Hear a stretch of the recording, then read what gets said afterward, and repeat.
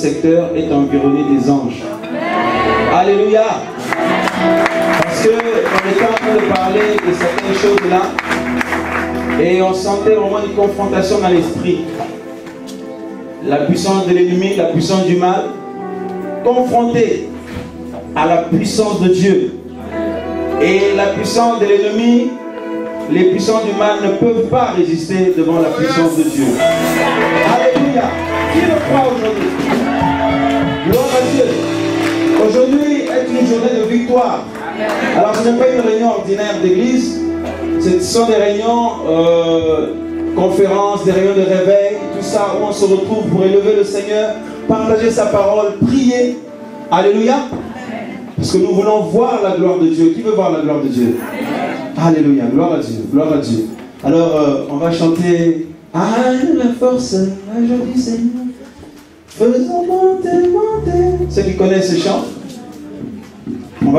Ensemble.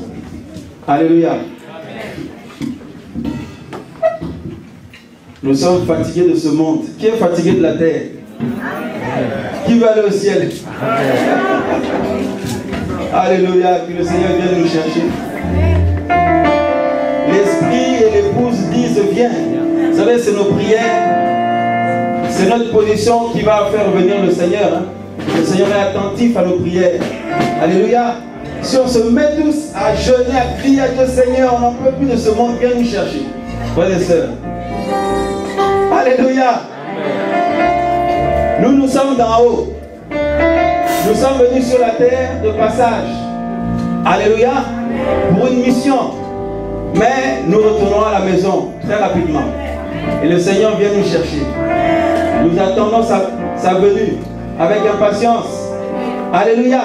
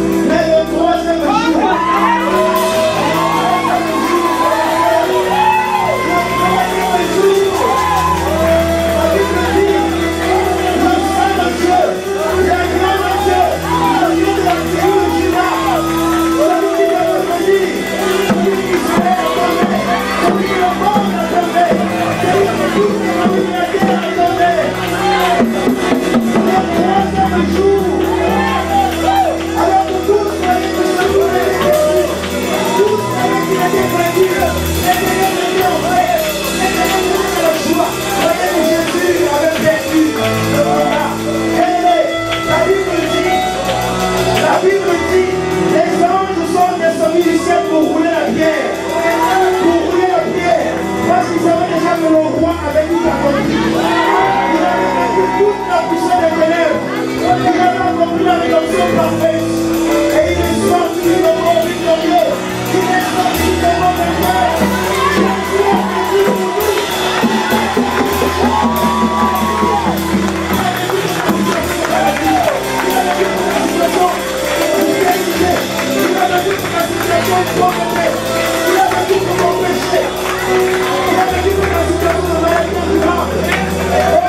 hallelujah.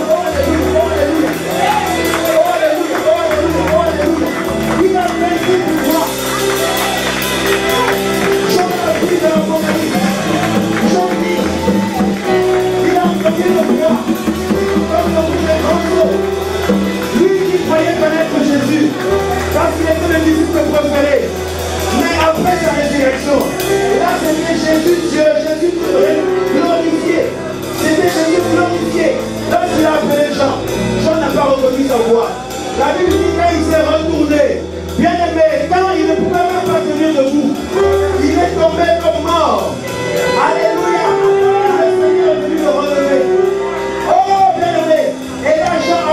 le Jésus ressuscité, le Jésus victorieux, le Jésus vainqueur. Ça n'a rien à voir avec une religion. Il n'a rien à voir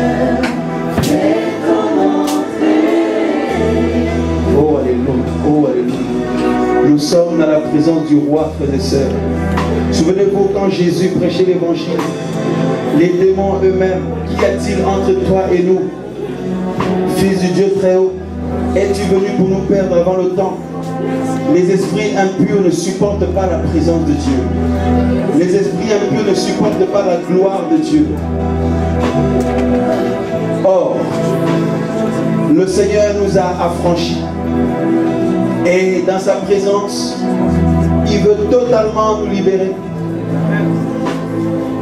Il veut te décharger de tes fardeaux. Oh Alléluia, oh Alléluia. Il y a plusieurs esprits de mort dans la salle. Ce n'est pas que ces deux personnes-là. Il y a d'autres esprits de mort qui sont là.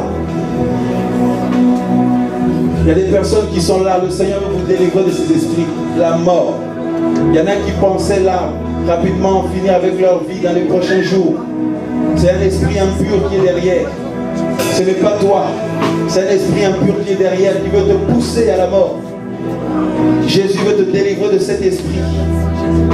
C'est un travail de sorcellerie. C'est un travail de sorcellerie. Parce qu'on avait juré que tu puisses mourir avant, de, avant la fin de cette année. Mais Jésus a dit autre chose.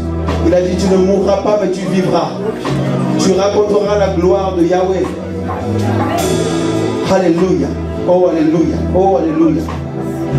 Il y a une onction de délivrance. Il y a vraiment une onction de délivrance. Il y a des esprits de nuit également. Mari de nuit, femme de nuit. Le Seigneur veut libérer son peuple. Oh, Alléluia. Oh, Alléluia.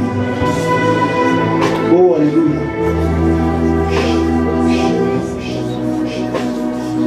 Oh, Alléluia. Oh, merci Seigneur. Oh, merci Seigneur. Oh, merci Seigneur. Jésus est venu pour t'affranchir afin que tu puisses te lever pour le servir fidèlement. Fidèlement. Étant léger, léger, léger, léger. Aujourd'hui, c'est ton jour. C'est ton jour. C'est ton jour. C'est ton jour. Dieu dit finis avec cette situation. Femme, finis avec cette situation. Mon fils, finis. J'ai vaincu pour ta délivrance. J'ai vaincu pour ta franchise. Ne soyons pas distraits, s'il vous plaît. Je vous dis, il y a une option de délivrance ici. Oh, alléluia. Oh, alléluia. J'ai vaincu pour ta franchise. Pour briser les malédictions. Alléluia. Merci, papa, Il y a une femme ici, dès qu'elle conçoit, elle perd l'enfant à chaque fois. Dès qu'elle conçoit, elle perd l'enfant. Dieu te dit qu'il brise cette malédiction. Il brise cette malédiction. C'est comme un, serpent à chaque fois qui mange, qui récupère les enfants. C'est comme un serpent, c'est comme une malédiction là, qui est là. Dieu brise cette puissance. Au nom de Jésus-Christ de Nazareth. De Jésus-Christ de Nazareth. Au nom de Jésus-Christ de Nazareth.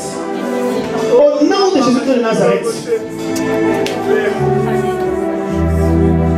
À partir de maintenant, tu ne verras plus cette malédiction. Tu ne verras plus cette malédiction. Au nom de Jésus.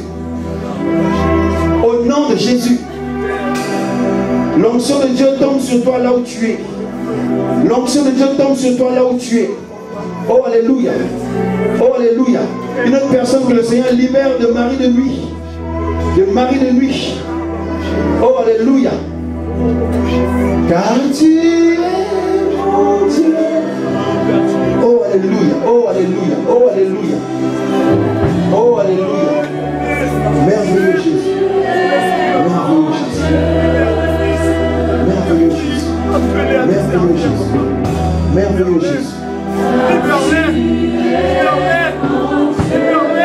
Tous les démons de l'enfer là, qui te font souffrir là, qui te font souffrir, tu es comme un esclave. Je dis, tu n'es pas un esclave. Tu n'es pas un esclave, mon fils. Tu n'es pas un esclave, ma fille. Oh, Alléluia. Oh, Alléluia. Oh, Alléluia.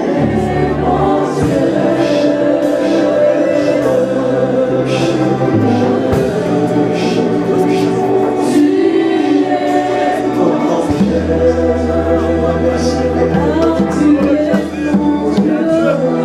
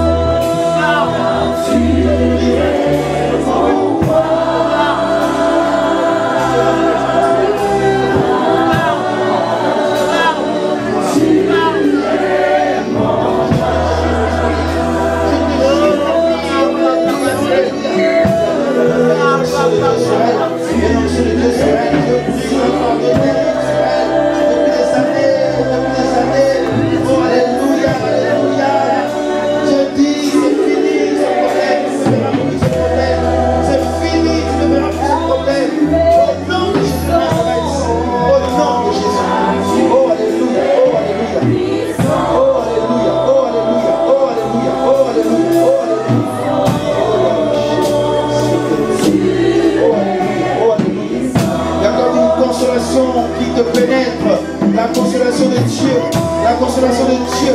Oh, Alléluia. Alléluia. Alléluia. Quand tu finis de verser toutes ces larmes-là, c'est comme une guérison intérieure. Tu as reçu, tu reçois, tu reçois maintenant. Tu reçois maintenant, tu reçois maintenant, tu reçois maintenant. Au nom de Jésus.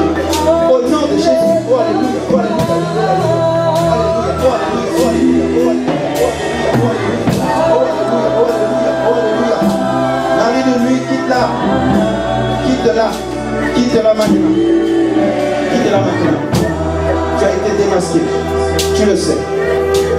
Elle n'est pas ton esclave. Elle est venue ici pour être touchée par le Seigneur. Elle est venue ici pour être affranchie par le Seigneur. Je te commande, puissance démoniaque, esprit impur, tu as été vaincu à la croix.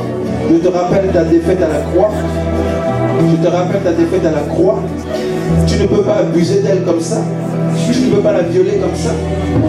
Quitte-la Allez, quitte-la maintenant Quitte-la Quitte-la Quitte-la Quitte-la Acclamons le Seigneur, acclamons le Seigneur, acclamons le Seigneur. Tu la quittes, tu la quittes. Tu la quittes maintenant, maintenant, maintenant, les deux amis. Au nom de Jésus-Christ. Au nom de Jésus-Christ. Servir le Seigneur. Libre, libre de servir le Seigneur. Au nom de Jésus.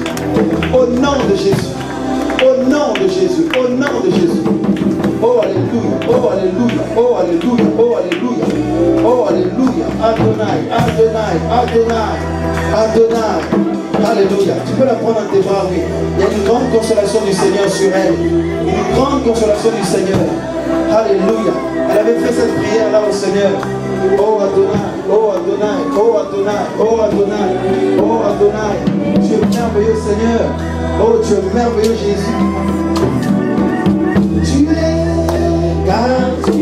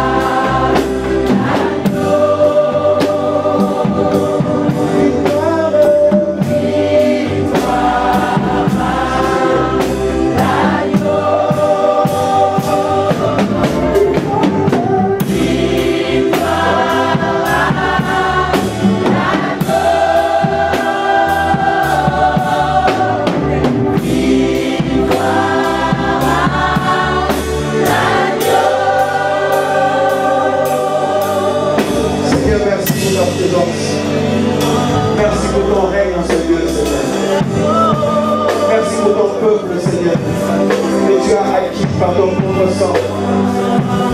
Oh Jesus, de gloire.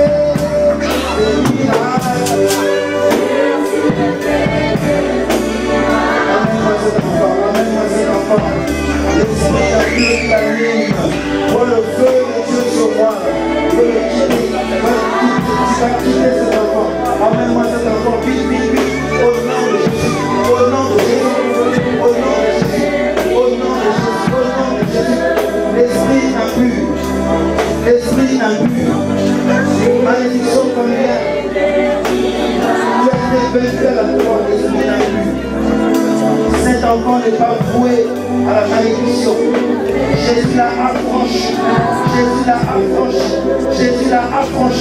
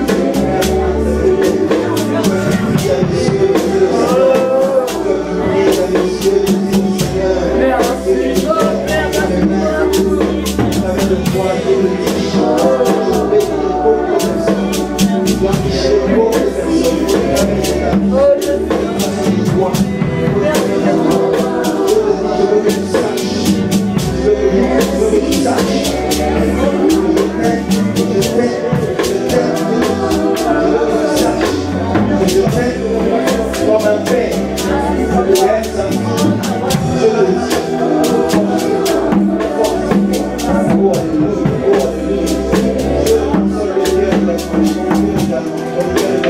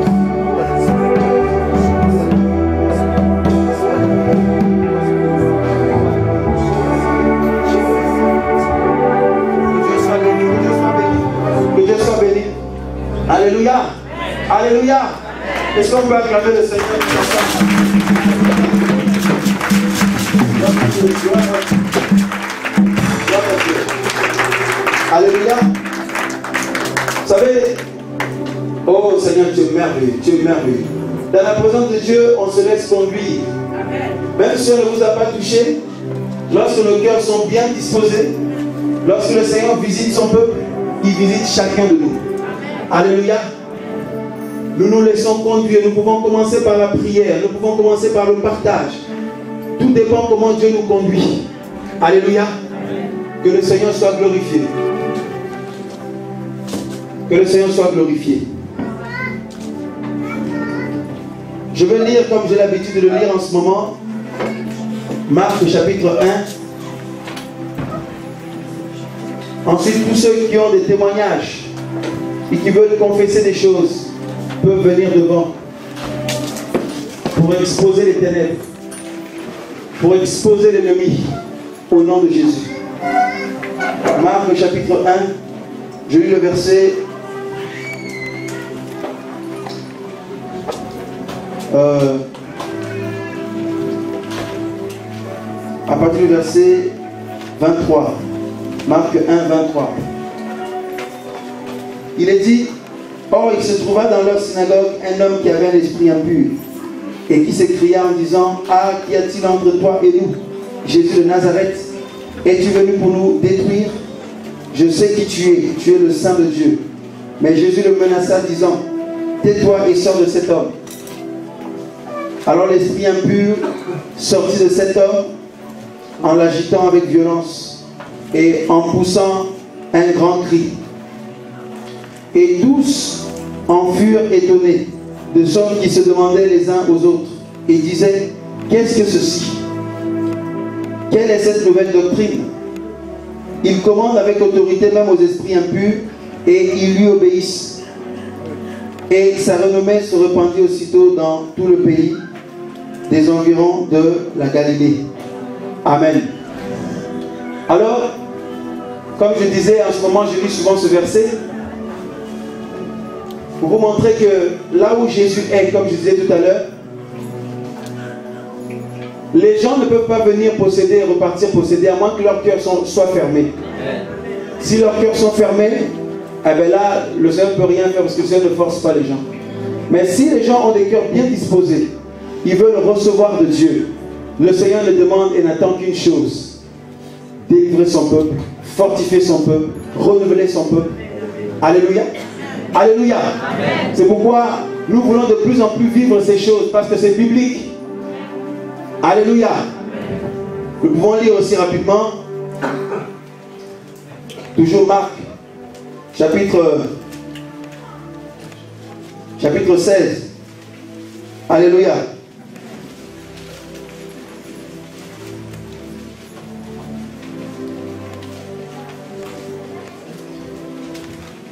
Marc chapitre 16, le verset, le verset 15, que nous connaissons. Puis il leur dit, allez par tout le monde et prêchez l'évangile à toute créature. Celui qui croira et qui sera baptisé sera sauvé. Mais celui qui ne croira pas sera condamné. Et voici les miracles qui accompagneront ceux qui auront cru. Ils chasseront les Hein? Les miracles qui accompagneront ceux qui auront cru. Donc chasser les démons, c'est quelque chose de miraculeux. Parce qu'un être humain ne peut pas chasser un démon. Mais c'est par la puissance de Jésus. Alléluia. Et l'autorité qu'il y a dans le nom de Jésus. Donc ils chasseront les démons. Euh, en mon nom, ils parleront de nouvelles langues. Alléluia. Ils parleront de nouvelles langues, ils saisiront les serpents avec la main, et s'ils boivent quelques breuvages mortels, il ne leur fera pas de mal. Ils imposeront les mains aux malades, et ils seront guéris. Alléluia. Ils imposeront les mains aux malades, et ils seront guéris. Alors, ça, ce sont des signes qui doivent accompagner l'Église. Donc, chaque individu qui a reçu Jésus-Christ dans sa vie, et si je pose la question ici, quelles sont les personnes qui ont reçu Jésus dans leur vie? Nous sommes nombreux. Alléluia. Dans notre vie personnelle, le Seigneur nous attend dans une vie d'intégrité. Parce que Dieu ne désire pas nous faire du bien qu'à nous. Il désire aussi qu'au travers de nous, il puisse faire du bien à d'autres. C'est ça l'amour de Dieu. Alléluia. Mais le problème est que beaucoup d'enfants de Dieu ne sont pas à l'endroit où Dieu les veut, où Dieu les attend. Du coup, c'est comme si le Seigneur n'est pas capable de toucher, de visiter. C'est comme si Dieu n'existe même pas, avec tout ce qu'on voit dans ce monde.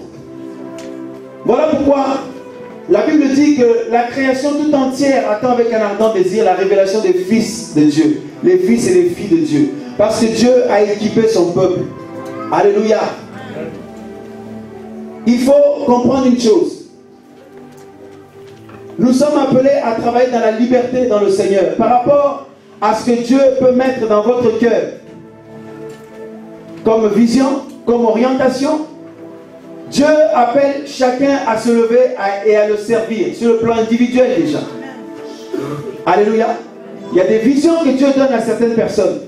Il y a des missions que Dieu donne à certaines personnes. Donc tout ça constitue le service ou le ministère dans le royaume de Dieu. Il faut se lever pour servir le Seigneur. Alléluia.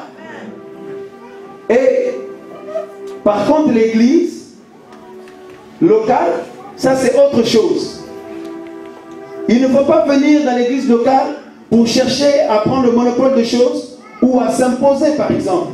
Parce que servir Dieu, ce n'est pas directement dans l'église locale, c'est dehors. Dans l'église locale, le Seigneur a prévu cela pour qu'on puisse se fortifier mutuellement. C'est là où on se ressource, on s'édifie mutuellement. Alléluia. C'est comme euh, là où euh, euh, là où on fait l'entraînement pour acquérir acquérir la force du Seigneur, la détermination où Dieu nous restaure. Et l'objectif du Seigneur, c'est de sortir, d'aller sur le terrain. Le terrain, c'est dehors. Alléluia. Et si nous obéissons au Seigneur, nous allons, comme il a dit, aller. Hein?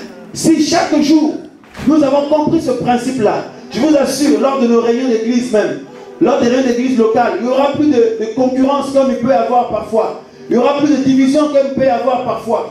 Il n'y aura pas de discorde comme il peut y avoir parfois. Chacun vise un poste, chacun vise une position. Or, Dieu ne veut pas de ces choses-là. Le Seigneur nous a équipés pour que nous puissions aller. Il y a beaucoup de gens qui attendent Jésus. Qui attendent que leur prêche l'évangile. Compris pour eux. Alléluia. Et Dieu nous a équipés pour cela. Donc il faut vraiment comprendre que il faut se décharger de tout ce qui peut nous alourdir. Il y a beaucoup de choses qui peuvent nous alourdir. Alléluia.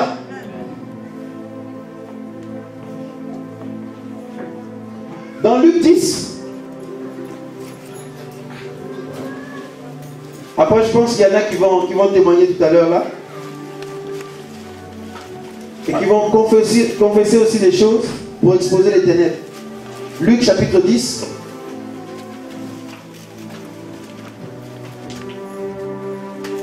Je partage quelque chose rapidement là.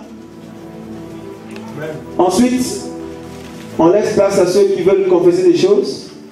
Et ensuite, on continue dans le partage. On va faire aussi des questions-réponses. Alléluia.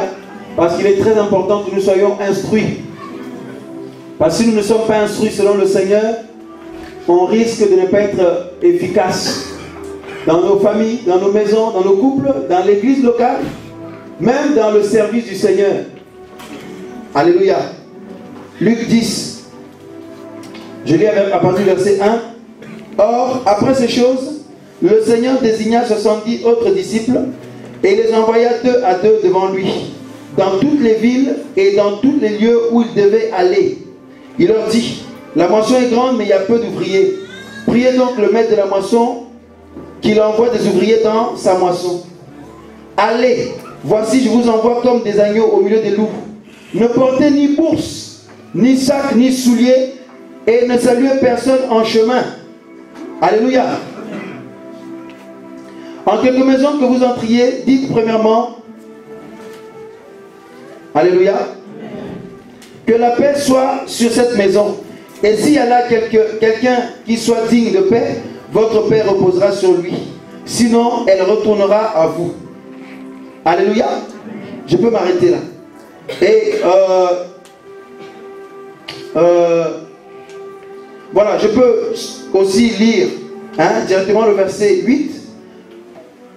Dans quelques villes que vous entriez et où l'on vous recevra, mangez ce qui sera mis devant vous, guérissez les malades. Alléluia. C'est un ordre, hein? c'est l'impératif. Et si le Seigneur parle comme ça, c'est parce qu'il nous a équipés. Donc il faut vraiment que euh, on puisse revenir au Seigneur pleinement, dans une vie de consécration. Et c'est par amour, comme je partageais avec ma soeur, avec ma soeur tout à l'heure là, c'est par amour pour le Seigneur qu'on va s'approcher de lui. On va le laisser nous instruire et nous montrer le chemin. Ce n'est pas par contrainte. Que non, j'ai pas le droit de faire ci, j'ai pas le droit de faire ça. Oh, Dieu demande qu'on fasse ci, on demande qu'on fasse ça. Non, c'est par amour pour le Seigneur. Alléluia. Et là, on va laisser le Seigneur euh, ben, nous instruire et prendre toute la place dans notre vie. Et ensuite, nous pouvons vivre le royaume de Dieu tous les jours. Alléluia. Nous pouvons vivre le règne de Dieu tous les jours. Dans notre vie personnelle, dans notre couple ou famille. Et aussi euh, à l'approche des frères et sœurs. Puis des gens du monde aussi. Alléluia. Il dit, guérissez les malades. Et si euh, guérissez les malades qui s'y trouveront et dites-leur, le royaume de Dieu s'est approché de vous. Alléluia. Mais dans quelques villes que vous entriez et où l'on ne vous recevra pas, sortez dans ces rues et dites, nous secouons contre vous-même la poussière de votre ville qui s'est attachée à nous. Toutefois, sachez que le royaume de Dieu s'est approché de vous. Je vous dis, je vous le dis, qu'en ce jour, je vous le dis qu'en ce jour, Sodome serait traité moins rigoureusement que cette ville-là. Alléluia. Et 1 Timothée 6. «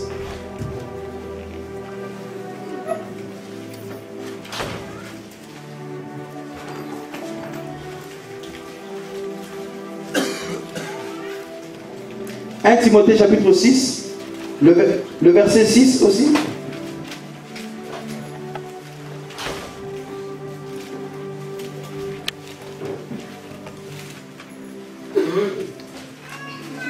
Alléluia.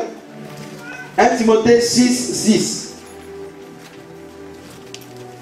Il est dit, Or la piété avec le contentement d'esprit est un grand gain, car nous n'avons rien apporté dans le monde, et aussi il est évident que nous n'en, pouvons rien emporter. Si nous avons la nourriture et le vêtement, cela nous... Alléluia. C'est ce qui est écrit. Si nous avons la nourriture et le vêtement, cela nous suffira. Mais ceux qui veulent devenir riches tombent dans la tentation, dans le piège et dans beaucoup de désirs insensés et pernicieux, qui plongent les hommes dans la ruine et la perdition. Alléluia. Voilà. Car l'amour de l'argent est la racine de tous les maux et quelques-uns, en étant possédés, se sont détournés de la foi et se sont jetés eux-mêmes dans bien des tourments. Mais toi, homme de Dieu ou femme de Dieu, fuis ces choses et recherche la justice, la piété, c'est-à-dire l'attachement à Dieu, la foi, la charité ou l'amour, la patience, la douceur, combat le bon combat de la foi, saisis la vie éternelle à laquelle aussi tu as été appelé. Et pour laquelle tu as fait une belle confession en présence de plusieurs témoins. Je t'ordonne devant Dieu qui donne la vie à toutes choses et devant Jésus-Christ qui a fait cette belle confession devant Ponce Pilate de garder ce commandement en te conservant sans tâche et irrépréhensible jusqu'à l'apparition de notre Seigneur Jésus-Christ qui sera manifesté en son temps, qui est le béni et seul prince, le roi des rois et le Seigneur des seigneurs qui seul possède l'immortalité et qui habite une lumière inaccessible que nul homme n'a vue ni ne peut voir, à qui appartient l'honneur, appartiennent l'honneur et la puissance éternelle. Amen. Alléluia. Alléluia. Je poursuis pour voir un peu le contexte aussi. Ordonne à ceux qui sont riches dans ce monde qu'ils ne soient pas hautains et qu'ils ne mettent pas leur confiance dans, euh, dans l'incertitude des richesses, mais dans le Dieu vivant qui nous donne toutes choses abondamment pour en jouir, qu'il fasse du bien, qu'il soit riche en bonne œuvre.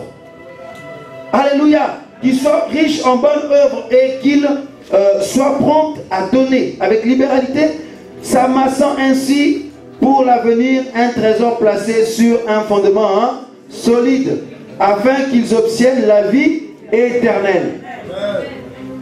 Puissent amasser ainsi un trésor placé sur un fondement solide, c'est-à-dire le trésor qui est auprès de Dieu. Alléluia. Voilà pourquoi dans Matthieu 6, la Bible dit, cherchez premièrement le royaume et la justice de Dieu. Et tout ce qui, tout ce qu'on a besoin sur cette terre nous sera donné par-dessus tout. C'est une promesse certaine. Et s'il y a bien une chose que Dieu ne peut pas faire, c'est mentir. Quand Dieu dit une parole, il accomplit aussi pour tous ceux qui obéissent à cette parole. Alléluia. Beaucoup ne voient pas ces choses s'accomplir dans leur vie parce que quelque part, ils n'obéissent pas à la parole du Seigneur. Mais quiconque obéit à la parole du Seigneur, il voit l'accomplissement de ce que le Seigneur a, a promis. Tel est le Dieu que nous servons. Alléluia. Et j'ai pris ce passage pour soulever quelque chose. Jésus, lorsqu'il envoie les disciples, dans Luc 10, il dit ne prenez ni bourse ni sac. Ne prenez pas des choses qui peuvent vous encombrer. Alléluia.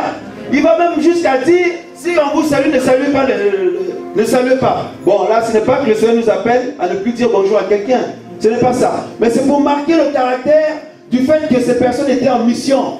Et dans le cadre de la mission, ils ne devaient pas se déconcentrer. Ils ne devaient pas être dans la distraction.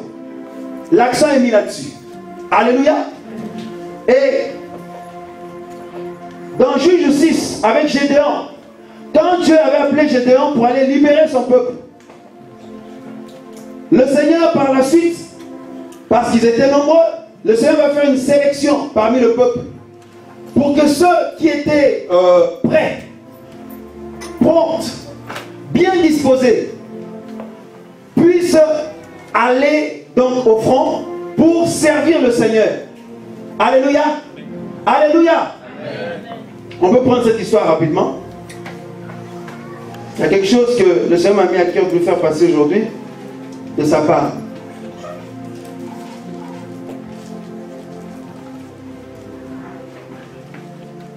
Alléluia. Donc, dans Juge 6, on voit l'appel de Gédéon. Amen.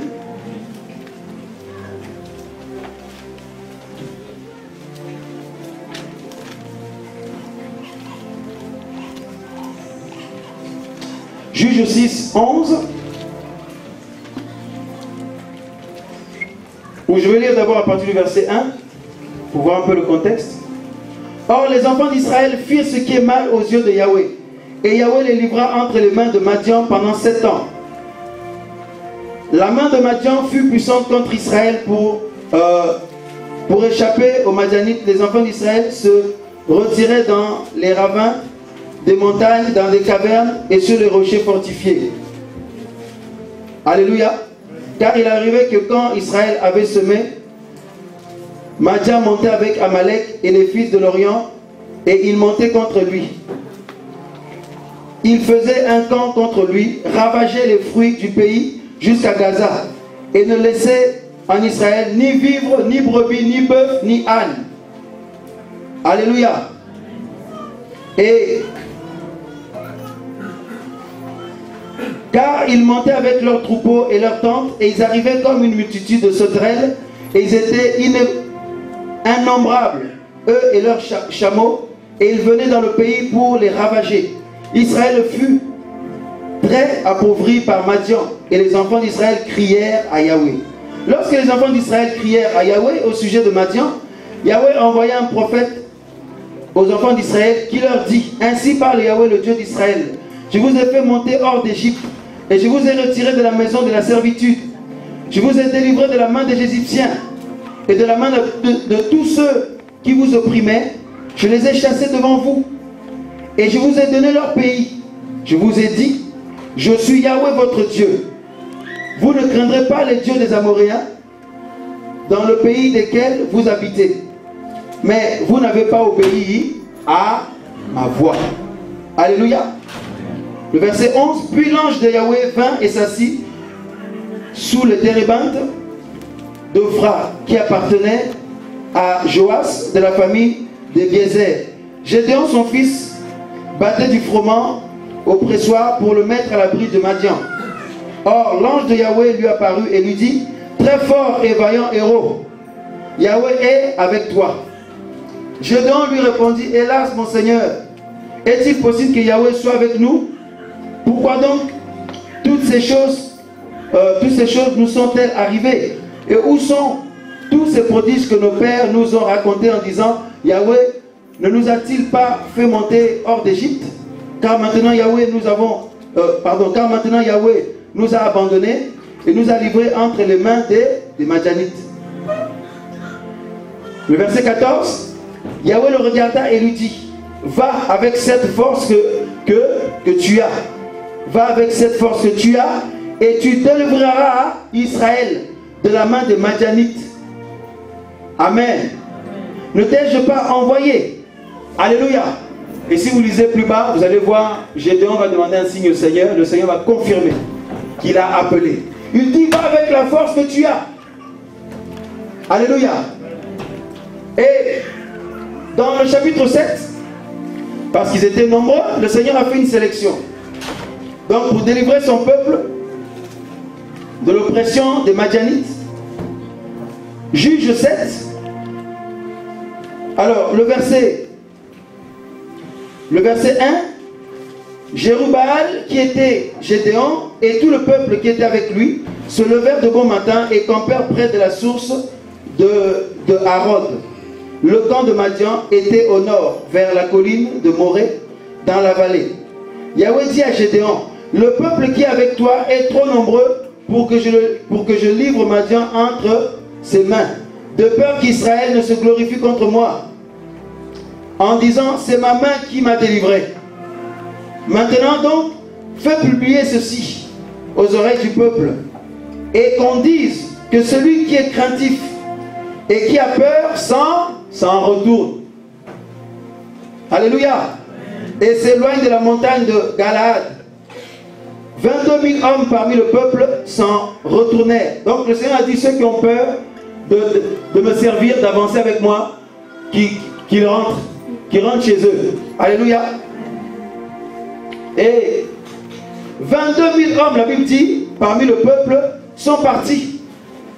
Il resta à 10 000.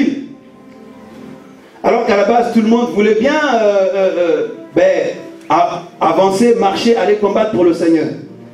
Et il resta 10 000, le verset 4. Yahweh dit à Gédéon, le peuple est encore trop nombreux. Fais-les descendre vers l'eau, et là, je les épurerai. Je les épurerai. Et celui dont je dirai que celui-ci aille avec toi, il ira avec toi. Et celui dont je te dirai que celui-ci n'aille pas avec toi, n'ira pas avec toi. Il fit donc descendre le peuple vers l'eau, et Yahweh dit à Gédéon, tous ceux qui, euh, laperont l'eau avec la langue, comme lappent les chiens, tu les sépareras de tous ceux qui se mettront à genoux pour boire. Alléluia. Amen. Suivez très bien ici. Ceux qui, qui la perdent l'eau, en la portant à la bouche avec euh, leurs mains, furent au nombre de, de 300 hommes, euh, pardon, de 300 hommes. Et tout le reste du peuple se mit à genoux pour, pour boire. Alléluia. Alors Yahweh dit à Gédéon, c'est par les 300 hommes qui ont la paix que je vous délivrerai et que je vous délivrerai de la main euh, de, Madian, pardon, que je délivrerai et que je livrerai Madian entre tes mains. que tout le reste du peuple s'en aille donc, chacun hein, chez soi. Ainsi le peuple prit entre ses mains des provisions et euh, ses chauffards. Gédéon renvoya tous les hommes d'Israël, chacun dans sa tente, et il retint les trois hommes, euh, pardon, les 300 hommes. Or, le camp de Madianite était au-dessous de lui, dans la vallée. Alléluia. Si vous lisez la suite, vous allez voir comment le Seigneur a donné la victoire à, à Gédéon avec ces 300 hommes-là. Alléluia. Alléluia. Je vais relire le verset. euh, le verset 4. Yahweh dit à Gédéon, le peuple est encore trop nombreux. Fais-les descendre vers l'eau et là, je les épurerai. Et celui dont je dirai que celui-ci aille avec toi, ira avec toi. Et celui dont je dirai que, celui- que celui-ci n'aille pas avec toi, n'ira pas avec toi. Il fit descendre donc le peuple vers l'eau. Et Yahweh dit à Gédéon, tous ceux qui laperont l'eau avec la langue comme lappent les chiens, tu les sépareras de ceux qui se mettront à genoux pour boire. Alléluia. Et ceux qui lapèrent l'eau en la portant à la bouche avec leurs mains furent au nombre de 300 hommes. Alléluia. Et le Seigneur dit, c'est par ces 300 hommes-là que je vais vous délivrer, vous donner la victoire. Frère, ça veut dire quoi? Alors ceux qui lapaient, hein, comme les chiens, comment, ça, comment le chien lave-t-il l'eau? Il se met comme ça, non? Hein, Je me mets un peu. Il se met comme ça. Alléluia. Donc il ramène l'eau avec sa main rapidement. Il y en a qui se met à genoux. Donc, sont. Donc c'est une position. Donc là, dans le contexte, c'est comme si les autres personnes se sont relâchées pour boire. Alors que ceux qui l'appellent comme les, les- les chiens là, c'était des gens qui étaient prêts à tout moment. Ils vont l'appeler, mais si on dit stop, on part, ils se lèvent tout de suite pour partir. Alléluia. C'est pour marquer le caractère, euh, comment je vais dire, euh, le caractère, euh, hein, là où il faut être toujours léger, hein, toujours léger et prêt pour l'assaut. Quand Dieu nous en donne l'ordre, être toujours prêt, ne pas avoir des fardeaux. Alléluia. Il y en a qui sont avachis, qui se sont mis là pour prendre le temps de boire tranquillement. Et puis il y en a d'autres qui étaient comme des chiens, hein, prêts à tout moment à décoller. Dès qu'on dit stop, on y va, ils sont prêts. Donc c'est des hommes euh, vaillants, des hommes prêts pour la confrontation, pour aller au front. Alléluia. Et cela rejoint également ce que nous avons lu tout à l'heure dans, Luc 10. Le Seigneur dit à ceux qu'il a envoyés en mission, il dit, ne prenez pas des choses qui peuvent vous vous alourdir. Donc, pour que vous soyez légers. C'est pour ça que Paul a dit, si nous avons le manger, le boire, cela nous et vêtement, pardon, cela nous, nous suffira. Il dit, ceux qui veulent s'enrichir, s'amasser des trésors sur cette terre-là, ils vont se plonger eux-mêmes dans bien des tourments. Ils vont s'alourdir. Ils ne pourront plus obéir au Seigneur facilement. Ils ne pourront plus suivre le Seigneur quand il, il- il bouge. Ils ne pourront plus le suivre facilement parce qu'ils sont trop lourds. Alléluia.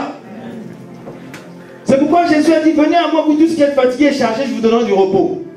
1 Pierre 5, 7 dit, déchargez-vous sur lui de tous vos soucis, car lui-même prend soin de vous. Alléluia.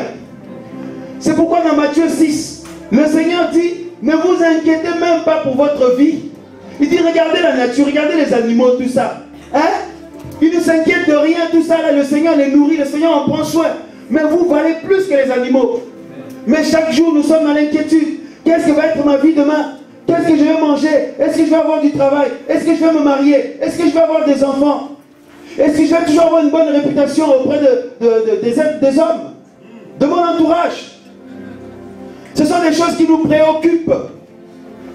Et lorsque ces choses nous préoccupent, eh bien, ça nous alourdit. Alléluia. Et dans Luc 18,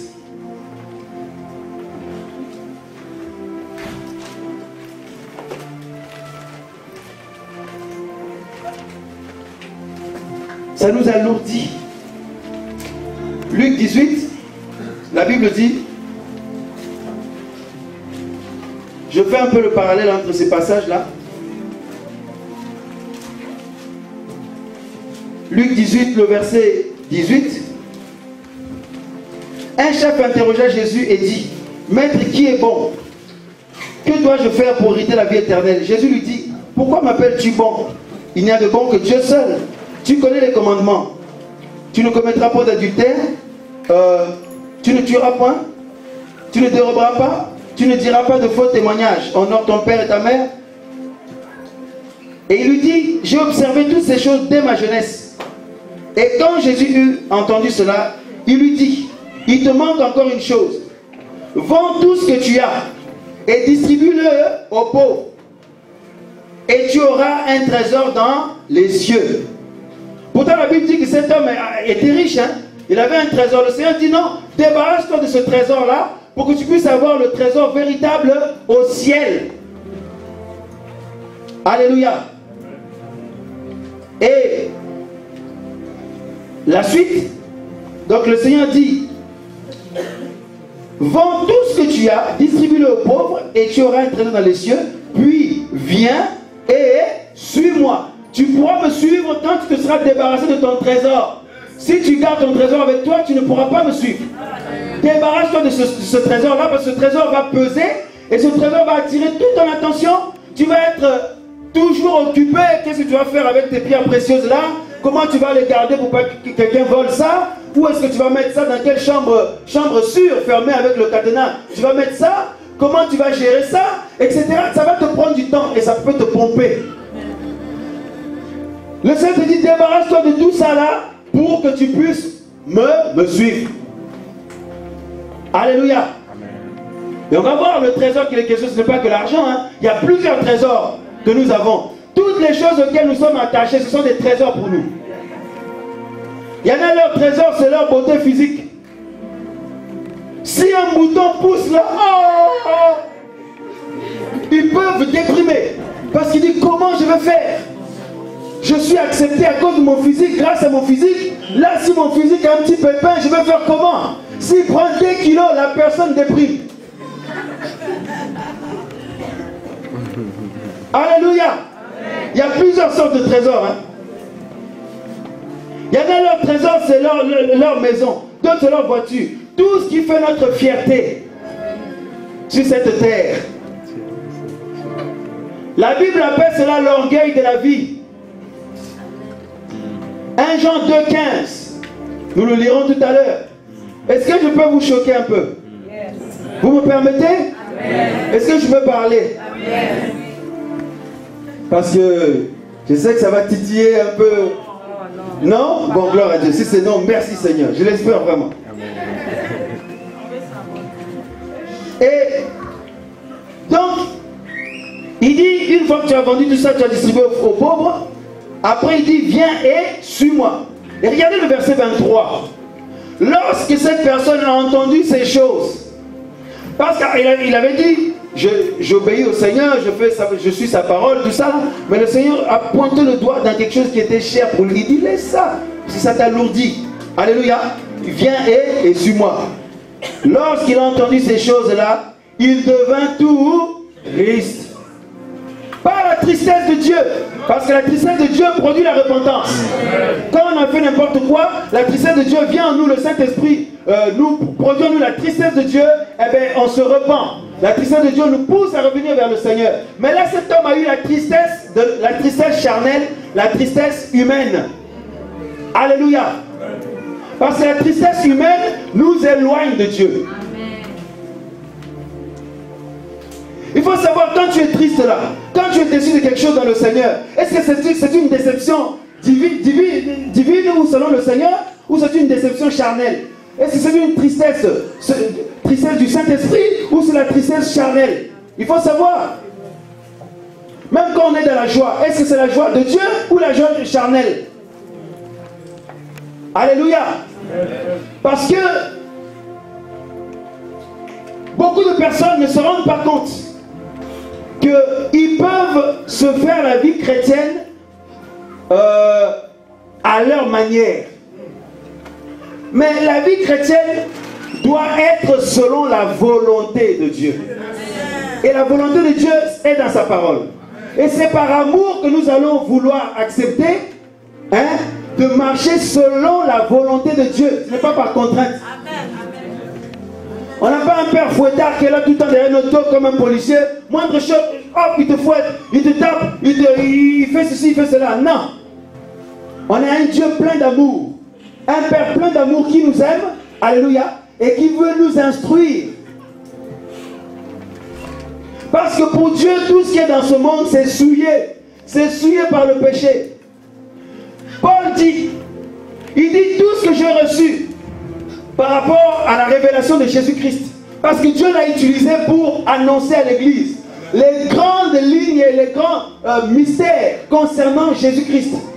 Paul dit, j'ai reçu tout ça par révélation. C'est par une révélation de Jésus-Christ que j'ai reçu tout ça. Pourtant, Paul avait fait des études. Il n'a pas dit c'est grâce à mes études que j'ai fait dans la théologie, grâce à mon expérience, parce qu'il avait étudié à l'école de Gamaliel. Alléluia. Qui était quand même à l'époque une des grandes écoles de formation, tout ça. Il pouvait s'enorgueillir. Mais il dit, toutes ces choses qui étaient pour moi comme une fierté, je les ai regardées comme de la boue. Afin de gagner l'excellence de mon Seigneur Jésus-Christ.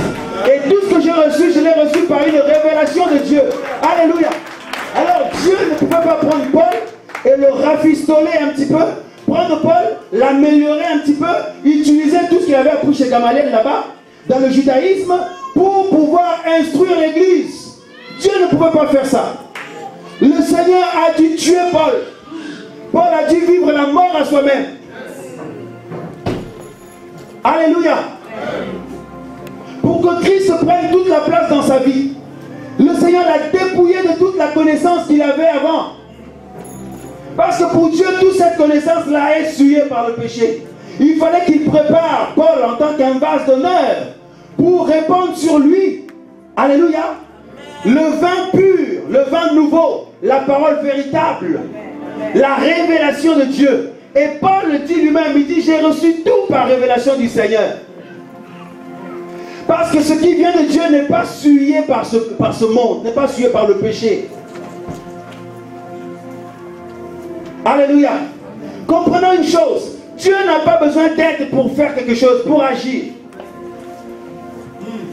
Oh non, l'expérience que j'avais dans le monde, Dieu va l'utiliser dans le Seigneur maintenant pour que l'œuvre se fasse. Pas du tout, parce que parfois on disait ça. Même moi j'avais dit ça aussi. D'autres personnes aussi l'ont dit. L'expérience qu'on avait dans le monde, le Seigneur n'en a pas besoin. Il doit nous dépouiller de toute cette expérience-là. Alléluia. Tu es fort dans tel domaine professionnel, tu as des aptitudes, tout ça là. Tu dis non, avec tout ça, le Seigneur va sûrement s'en servir pour que, je, pour, que, pour que je puisse le servir. Non, il n'en a pas besoin, il va te dépouiller de tout ça. Parce que pour lui, tout ça, c'est souillé par le péché. Et ça peut être comme euh, les hommes là, qu'on a lu dans Gédéon. Tu vas dire non, ben, le Seigneur m'utilise, mais j'avais quand même des aptitudes, tu comprends Le Seigneur m'utilise, mais j'avais quand même une certaine sagesse. Et là, c'est comme si au lieu de donner toute la gloire à Dieu, il y a une partie pour nous. Voilà pourquoi Dieu n'a pas besoin de tout ça là. Il va tout nettoyer. Voisin, il va tout nettoyer. Il va tout nettoyer. Voisin, prépare-toi que Dieu te nettoie. Non, tu lui as pas dit parce que quand Dieu nous nettoie là, c'est avec, avec, avec un- une brosse. Hein, Ah oui, ah oui. parce que parfois il y a certaines choses auxquelles on est tellement attaché.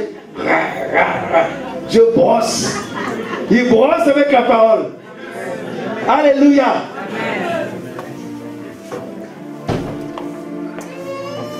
Ce que j'ai lu au début, on va y revenir tout à l'heure. Comprenons bien une chose. Lorsque le Seigneur a créé Adam et Ève, il les a placés dans le jardin d'Éden. La Bible dit le Seigneur voulait les cultiver. Il voulait les instruire.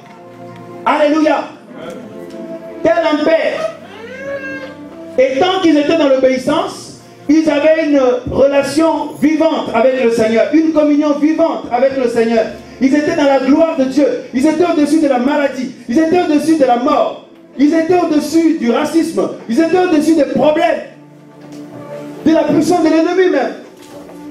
Alléluia. Ils n'avaient pas d'autre conception de vie que la conception que Dieu a de la vie. Je ne sais pas si vous m'avez compris. Ils n'avaient pas une autre conception de vie ou de la vie à part la conception que Dieu, lui, il a de la vie. C'est Dieu qui nous a créés. C'est lui qui a les plans. Tel un architecte. On reconnaît un œuvre, hein, Alléluia. Pardon, la valeur d'un architecte grâce à son œuvre, non? Quand on voit la valeur de l'œuvre qu'il a accomplie, on dit non, ça c'est pas euh, un architecte. Quand on voit un édifice, une maison, je sais pas quoi. Quand on voit la beauté des choses, comment le travail été organisé, l'harmonie qu'il y a, la réussite qu'il y a, on va dire non, mais qui est l'auteur de ce travail-là? Alléluia. Même si on n'a jamais vu cet individu, le jour où on le verra, on dit Ah Tout ce que j'ai vu là-bas, toute cette beauté, cette, magnificence, c'est toi l'auteur. Et on va réaliser la, valeur de ce qu'il a. Alléluia. Donc c'est lui qui a les plans. L'architecte en question. Alléluia. Si lui, hein, il ne déballe pas les secrets qu'il a, les autres peuvent venir faire ce qu'ils veulent. Les, les édifices ne seront pas aussi beaux. Alléluia. Je ne sais pas si vous suivez. Mais cet architecte-là, quand il va venir, avec le talent qu'il a, hein, parfois il peut faire certaines choses, personne ne comprend. Mais qu'est-ce qu'il est en train de me faire là? Qu'est-ce qu'il est en train de faire? Là, certains maçons peuvent venir parce que c'est l'architecte qui a les plans, les maçons vont intervenir après. Alléluia. Ils vont suivre le plan. Est-ce que vous comprenez? Non, mais là, je ne comprends pas pourquoi il a fait ça comme ça, tout ça. Mais lui, il sait pourquoi il a fait ça comme ça. Fais seulement comme il a fait dans les plans. Alléluia. Et tant que l'édifice n'est pas construit, on ne peut pas avoir une idée de, de- de- comment, hein, du talent, du talent de, l'architecte. Mais si on ne peut pas faire tel que l'architecte a mis dans les plans, l'édifice ne va pas être nickel. Il faut faire comme il a dit, même si on ne comprend rien. Et à la fin du travail, c'est là qu'on juge. Alléluia. L'être humain est l'ouvrage de Dieu. L'être humain est la machine la plus parfaite. Même les scientifiques, jusqu'à aujourd'hui, continuent à faire les recherches sur l'être humain. Il y a des choses qui les dépassent, qu'ils essaient d'expliquer, mais ils n'arrivent pas. Déjà pour casser ceux qui croient que c'est leurs parents, leurs papa et maman qui les ont créés, comme j'ai toujours l'habitude de le dire, lorsque une, femme a conçu, même si elle et son mari veulent que leur enfant ait les yeux bleus, que les oreilles, je ne sais pas de quelle forme, la tête, je ne sais pas de quelle forme, l'homme et la femme n'ont pas accès au bébé. Le bébé dans le ventre, ils ne peuvent rien faire, ils doivent attendre. Alléluia. Avec l'échographie, tout ça, ils ne peuvent qu'observer. Hein, ils peuvent seulement observer comment ça évolue là-dedans. Mais qui fait évoluer Dieu? Eux, ils ne peuvent rien faire, ils attendent. Donc, ce n'est pas eux qui créent l'enfant. Dieu les utilise comme des instruments pour, alléluia, pour qu'un enfant vienne au monde. Mais c'est Dieu qui va former l'enfant, qui va donner la forme de, de la tête, des yeux, du corps, tout ça. Décider même le sexe. Alléluia. Donc ce n'est pas nos parents qui nous ont créés, non. Mais Dieu a utilisé nos parents comme des instruments pour que nous existions. Mais c'est Dieu qui nous a créés. C'est lui qui a décidé que tu sois un homme, une femme. La forme de ta tête, etc. C'est Dieu. Voilà pourquoi il ne faut jamais, hein, il faut jamais, euh, comment, euh, se regarder comme raté, comme, euh, comme si tu es nul, même s'il y a des gens qui ont dit des choses mauvaises comme contre toi. Il ne faut jamais te regarder comme un raté. Parce que si tu fais ça, c'est comme si tu dis à Dieu, Dieu, tu, tu es nul, tu m'as raté. Or, Dieu ne t'a pas raté. S'il a voulu que tu sois homme, il sait pourquoi. Que tu naisses femme, il sait pourquoi. La forme qu'il t'a donnée, là, tout ça, il sait pourquoi. Alléluia. Donc ça c'est pour nous montrer que c'est Dieu qui nous a créés, pas nos parents. Nous ne sommes pas le fruit d'une évolution non plus. Parce que jusqu'à aujourd'hui, il y a des singes encore au zoo là-bas. Alléluia. Moi, mon ancêtre, c'est pas un singe. Je ne sais pas le tien. Amen. Nous fermons la parenthèse. Dieu étant l'auteur de l'existence humaine, il est l'architecte de la vie humaine. C'est lui qui a les plans. Il sait ce qu'il faut faire pour que tu sois heureux. Il le sait. Il a le secret de ton, de ton bonheur, de ta joie. Dieu l'a. Alléluia. Alléluia. Si tu veux connaître une vie joyeuse, tu dois te rapprocher du Seigneur pour savoir qu'est-ce qu'il a prévu pour expérimenter la joie. Si tu veux expérimenter la paix, tu dois te rapprocher du Seigneur pour comprendre ce qu'il a prévu pour expérimenter la paix. Parce que c'est lui qui a les plans. Alléluia.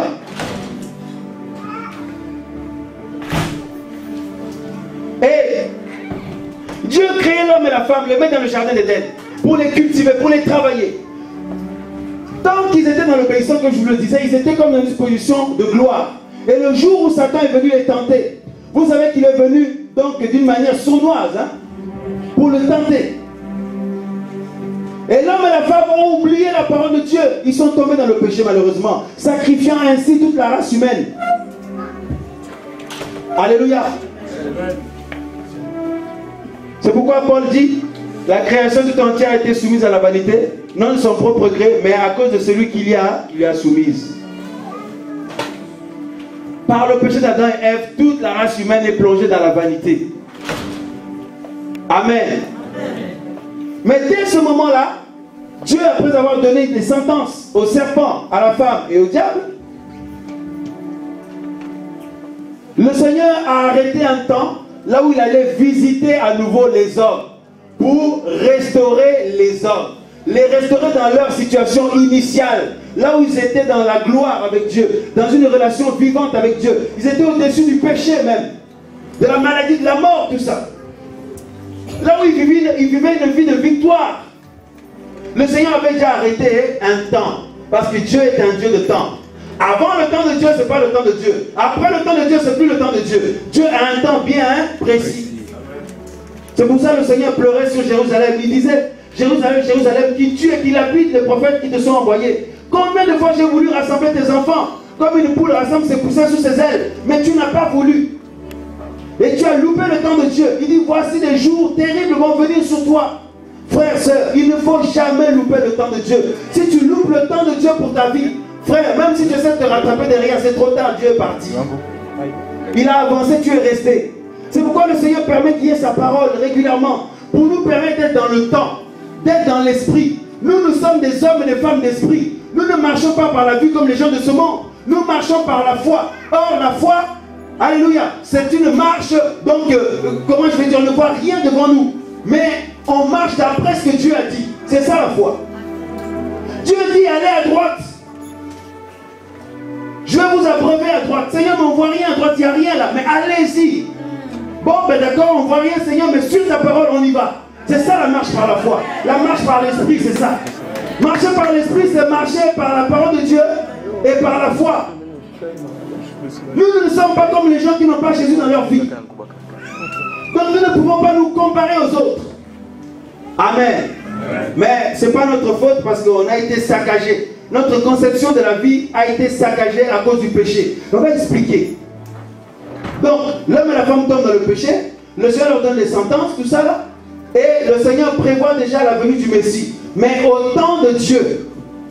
Au temps de, de Dieu. Alléluia. Et en attendant là, les galères de, l'homme, ces galères ont commencé. L'homme allait pouvoir connaître maintenant la mort. Par la suite, Adam et Ève ont eu des enfants. Caïn Abel. Ils vont faire un sacrifice les deux au Seigneur. Caïn va détester Abel parce que Dieu avait agréé son sacrifice et, pas le sien. Alléluia. Alléluia. Et Caïn va aller jusqu'à tuer Abel. La mort est rentrée dans l'humanité. Hein? Le premier meurtrier, c'est Caïn, à part Satan, en, en, emmenant les êtres humains dans le péché. Malheureusement pour nous. Mais heureusement que Jésus est venu. Donc Caïn va tuer Abel. Le meurtre est rentré. Et par la suite, frères et sœurs, tous les problèmes que nous connaissons sont rentrés. La maladie, l'homme allait pouvoir connaître la mort maintenant. L'homme allait pouvoir connaître la maladie maintenant. L'homme allait pouvoir connaître des soucis qu'il ne pouvait pas connaître avant tant qu'il était dans la gloire de Dieu. Il menait une vie selon Dieu. Si quelqu'un veut être heureux, il doit mener une vie selon Dieu. C'est important, je, répète, je radote. Pour être heureux et épanoui sur cette terre, il faut mener une vie selon Dieu. Dans le jardin d'Éden, la vie qu'il y avait là-bas, c'était selon Dieu. Avant que l'homme et la femme tombent dans le péché, ils menaient une vie selon Dieu. Le jour où ils sont tombés dans le péché, ils ne menaient plus une vie selon Dieu. Parce que leur vie était maintenant souillée par le péché. Alléluia. Et là, Dieu, dans son amour, il va mettre en place la venue de Jésus, le plan de rédemption. Parce que Dieu, ce qu'il voulait, c'est remettre l'homme à la place initiale qu'il avait. C'est-à-dire que Dieu est glorieux. Après, c'est l'homme. Satan était en dessous. Jésus a dû ravir les clés dans l'Apocalypse, il le dit. Il dit, j'ai pris, j'ai ravi les clés de la mort et du séjour de mort. Il a ravi tout ça, l'autorité que l'homme avait perdue en le donnant à Satan. Quand? Quand il était tombé dans le péché. Alléluia. En fait, le péché, nous devons en parler. Parce que le péché est un poison pour nous, les enfants de Dieu. Nous avons affaire à un Dieu qui est saint. Nous voulons nous approcher à un Dieu qui est saint, mais pour quand on aime quelqu'un, il faut apprendre à savoir les choses que cet homme aime et ce que cette personne aime, les choses qu'il n'aime pas non plus. Je n'ai jamais vu une femme mariée qui n'étudie jamais les choses que son mari aime, les choses que son mari n'aime pas. Si l'homme aime sa femme, la femme aime son mari, chacun ils vont apprendre. Non, je sais déjà que telle chose, mon mari n'aime pas trop ça. Ma femme n'aime pas trop ça. Par contre, il aime bien telle chose. Donc, si je veux lui faire plaisir, je veux le toucher, je vais faire les choses qu'il aime. Alléluia. On se soucie de savoir ce que la personne qu'on aime, les choses, donc ce qu'il aime. Donc si on aime Dieu, si on prend Dieu, si on suit le Seigneur, nous devons apprendre et faire nos recherches, nous investir pour savoir ce que Dieu aime et ce que Dieu n'aime pas. Parce qu'on ne peut pas dire qu'on aime Dieu, on sert un Dieu, on suit un Dieu, et on s'en fout de savoir ce qu'il aime, ce qu'il n'aime pas. Euh, on, avance comme ça, voilà. Donc il a dit d'avancer, on avance. Bon, ben, telle chose il aime, il n'aime pas, bon, c'est pas mon problème. Et euh, je reviendrai toujours à ses pieds, il me comprendra. Non, c'est pas ça. Dieu veut que nous puissions apprendre les choses qu'il aime et les choses qu'il n'aime pas. Parce que le Seigneur est un Dieu sensible. Vous savez, quand quelqu'un fait des choses par contrainte avec lui, hein, hmm, bon, je n'ai pas envie de faire des choses, mais je vais le faire quand même parce que je n'ai pas le choix. Quand c'est comme ça, le Seigneur est blessé dans son cœur. Il sait que tu ne l'as pas fait par amour pour lui. Alléluia. Parce qu'il voit les, intentions de nos cœurs. L'être le plus sensible, c'est Jésus-Christ lui-même. Alléluia. C'est l'être le plus sensible. Vous pouvez le faire pleurer à tout moment. En faisant des choses qu'il n'aime pas, il est blessé dans son cœur, il pleure, il dit, mais je leur ai tout donné, j'ai tout fait, mais comment se fait-il qu'ils ils ne veulent toujours pas apprendre à m'honorer pour leur propre bien? Parce que leur joie est en moi, leur bénédiction est en moi, leur épanouissement est en moi, Jésus. Est-ce que vous comprenez? L'homme et la femme étaient dans le jardin d'Éden avant la chute, ils vivaient une vie selon Dieu. Ils étaient heureux. D'ailleurs, ils étaient immortels. La mort est venue après. Alléluia. Les maladies, les problèmes que nous connaissons aujourd'hui, racisme, divorce, euh, euh, tout ce que vous connaissez là, le rejet, les viols, la méchanceté, tout ça c'est venu après le péché.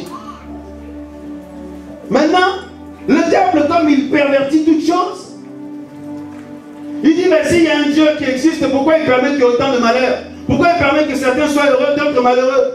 Pourquoi il, y a autant de problèmes sur la terre? S'il est Dieu, il est tout puissant, pourquoi il ne résout pas tous les problèmes tout de suite? Alléluia. Voilà ce que le diable fait.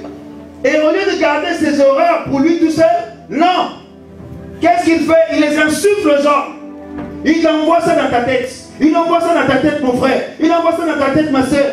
Et tu commences aussi à te dire, oui, mais depuis toutes ces années que je prie, il y en a que Dieu bénit, Dieu fait ça, mais moi, ma vie, là, mais. Et depuis tout ce temps que je prie Dieu, mais, mais, mais, ça commence à, à tourner là-haut.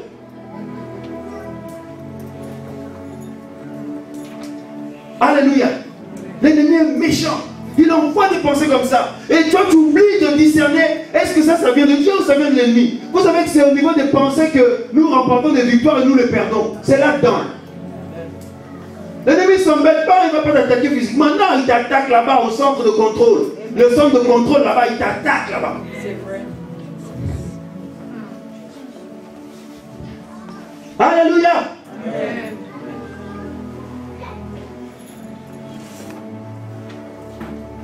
Suivez très bien le partage. Dieu a-t-il oublié l'être humain? Non. Mais Dieu est un Dieu de temps. Dieu avait dit à Abraham, ta descendance ira en captivité. Alléluia. Pendant 400 ans, et ensuite je leur enverrai un, li- un libérateur. Alors, du, de- du première année jusqu'à l'année 400, quand Dieu leur envoyait Moïse, arrivé à 300 ans ou 200 ans, plusieurs générations se découlaient, n'est-ce pas? Ils pouvaient murmurer, dire, mais Yahweh n'est pas un vrai Dieu, il est un menteur. Il nous voit souffrir l'esclavage en Égypte depuis des années. Qu'est-ce qu'il fait pour nous? Qu'est-ce qu'il il nous oublie? Il nous voit même pas. On souffre, on nous maltraite. Il y en a qui meurent même. Yahweh ne dit rien, il ne voit rien. Mais qu'est-ce qui se passe? La Bible dit Dieu n'est pas un homme men- pour mentir. Alléluia. Ce qu'il dit, et il va aussi l'accomplir. Mais ce qu'il faut comprendre, c'est que Dieu est un Dieu de temps. Un enfant qui vient de naître, qui grandit, cet enfant euh, arrive à l'âge de 10 ans par exemple. Viens ici, mon petit, s'il te plaît, mon petit frère. Viens. Tu peux venir, s'il te plaît? Je vais donner l'exemple. Tu as quel âge? Ah, ben il a 10 ans, gloire à Dieu. Je donne l'exemple de 10 ans, ah, ben il a 10 ans. Cet enfant de 10 ans, s'il lui dit, oh là là, moi j'aime bien les voitures, je veux conduire. Alléluia. Là, s'il se présente dans une auto-école, s'il se présente avec sa mère et son père, non, c'est pour inscrire notre enfant au code euh, et puis dès qu'il aura son code, qu'il passe son permis. Déjà, les, gens de l'auto-école, les professeurs là-bas vont dire, madame, monsieur, vous êtes sérieux Ils vont rigoler d'abord parce qu'ils vont prendre ça comme c'est une blague. Non, nous, sommes sérieux, cet enfant a 10 ans, on veut qu'il passe son code et passe son, son permis. C'est pas possible. Alléluia. Il faut qu'il attende d'avoir l'âge. Parce qu'il c'est rien. Il y a une loi qui fait qu'à son âge, il ne peut pas passer le code et le permis. Alléluia. Il y a une loi. Et il faut qu'une loi, ce- les lois, ce sont des choses donc incontournables. Une loi, c'est incontournable. Que vous aimez cette loi ou pas, mais c'est une loi quand même. Alléluia. Il doit attendre l'âge. Et arriver à l'âge, alors il peut faire. Maintenant, ça c'est les lois des hommes. Dans chaque pays, il y a des lois. Comme en France, ici, il y a des lois. Si on ne veut pas se soumettre à la loi française, on va avoir des problèmes. Alléluia. Nous sommes en France, il faut rouler à droite, vous, vous roulez à gauche. Il faut avoir le permis avant de conduire. Vous, vous roulez sans permis, sans assurance. Le jour où la police vous attrape, déjà dès que vous voyez la police là, bon, le cœur commence à battre. Bref, une loi, c'est incontournable. Maintenant, Dieu a placé des lois dans la nature. Dans la nature, il y a aussi des lois. Alléluia. Regardez par exemple la pluie et le beau temps. C'est quelque chose qui est de naturel que Dieu a fait. On peut rallumer s'il vous plaît. Le Seigneur accorde son soleil, la pluie, sur toute sa créature, sa création. Les chrétiens ou les païens, tout le monde bénéficie du beau temps et du soleil. Alléluia. Nous sommes d'accord. Même si vous dites non, mais moi je, je suis contre le fait que ben, euh, ben, les païens qui croient pas en Dieu, donc qu'ils puissent, qu'ils puissent faire beau, hein, euh, quand ils plantent leur jardin, là ils sont tellement incrédules, je ne veux pas que la pluie tombe dans leur jardin. Moi je vais gêner pour ça. Je vais gêner 21 jours à sec. Je ne veux pas que la pluie tombe dans leur jardin, je ne veux pas que le soleil soit pour eux. Tu peux faire tout ce que tu veux, Dieu l'accorde à tout le monde. C'est incontournable. Alléluia. À part dans la Bible, quand Élie avait prié pour, pour qu'il ne tombe pas de pluie en Israël, là c'était par rapport à un contexte bien précis. Alléluia. Dans tout le pays. Alors cet enfant, il y a une loi naturelle qui est là. Pour avoir la barbe, il faut qu'il ait l'âge. Si lui dit non, j'aime bien mon papa quand il se rase, je veux la barbe. Il pleure, il dit je ne mange plus jusqu'à ce que j'ai la barbe. Mais ça va être terrible. Hein? Il peut se priver de nourriture, faire tout ce qu'il veut. La barbe ne poussera pas à 10 ans. Alléluia. Il faut qu'il puisse avoir l'âge. Donc il faut que ce soit au temps de Dieu. Comment Dieu a prévu les choses. Amen. Tu peux prendre place, mon frère.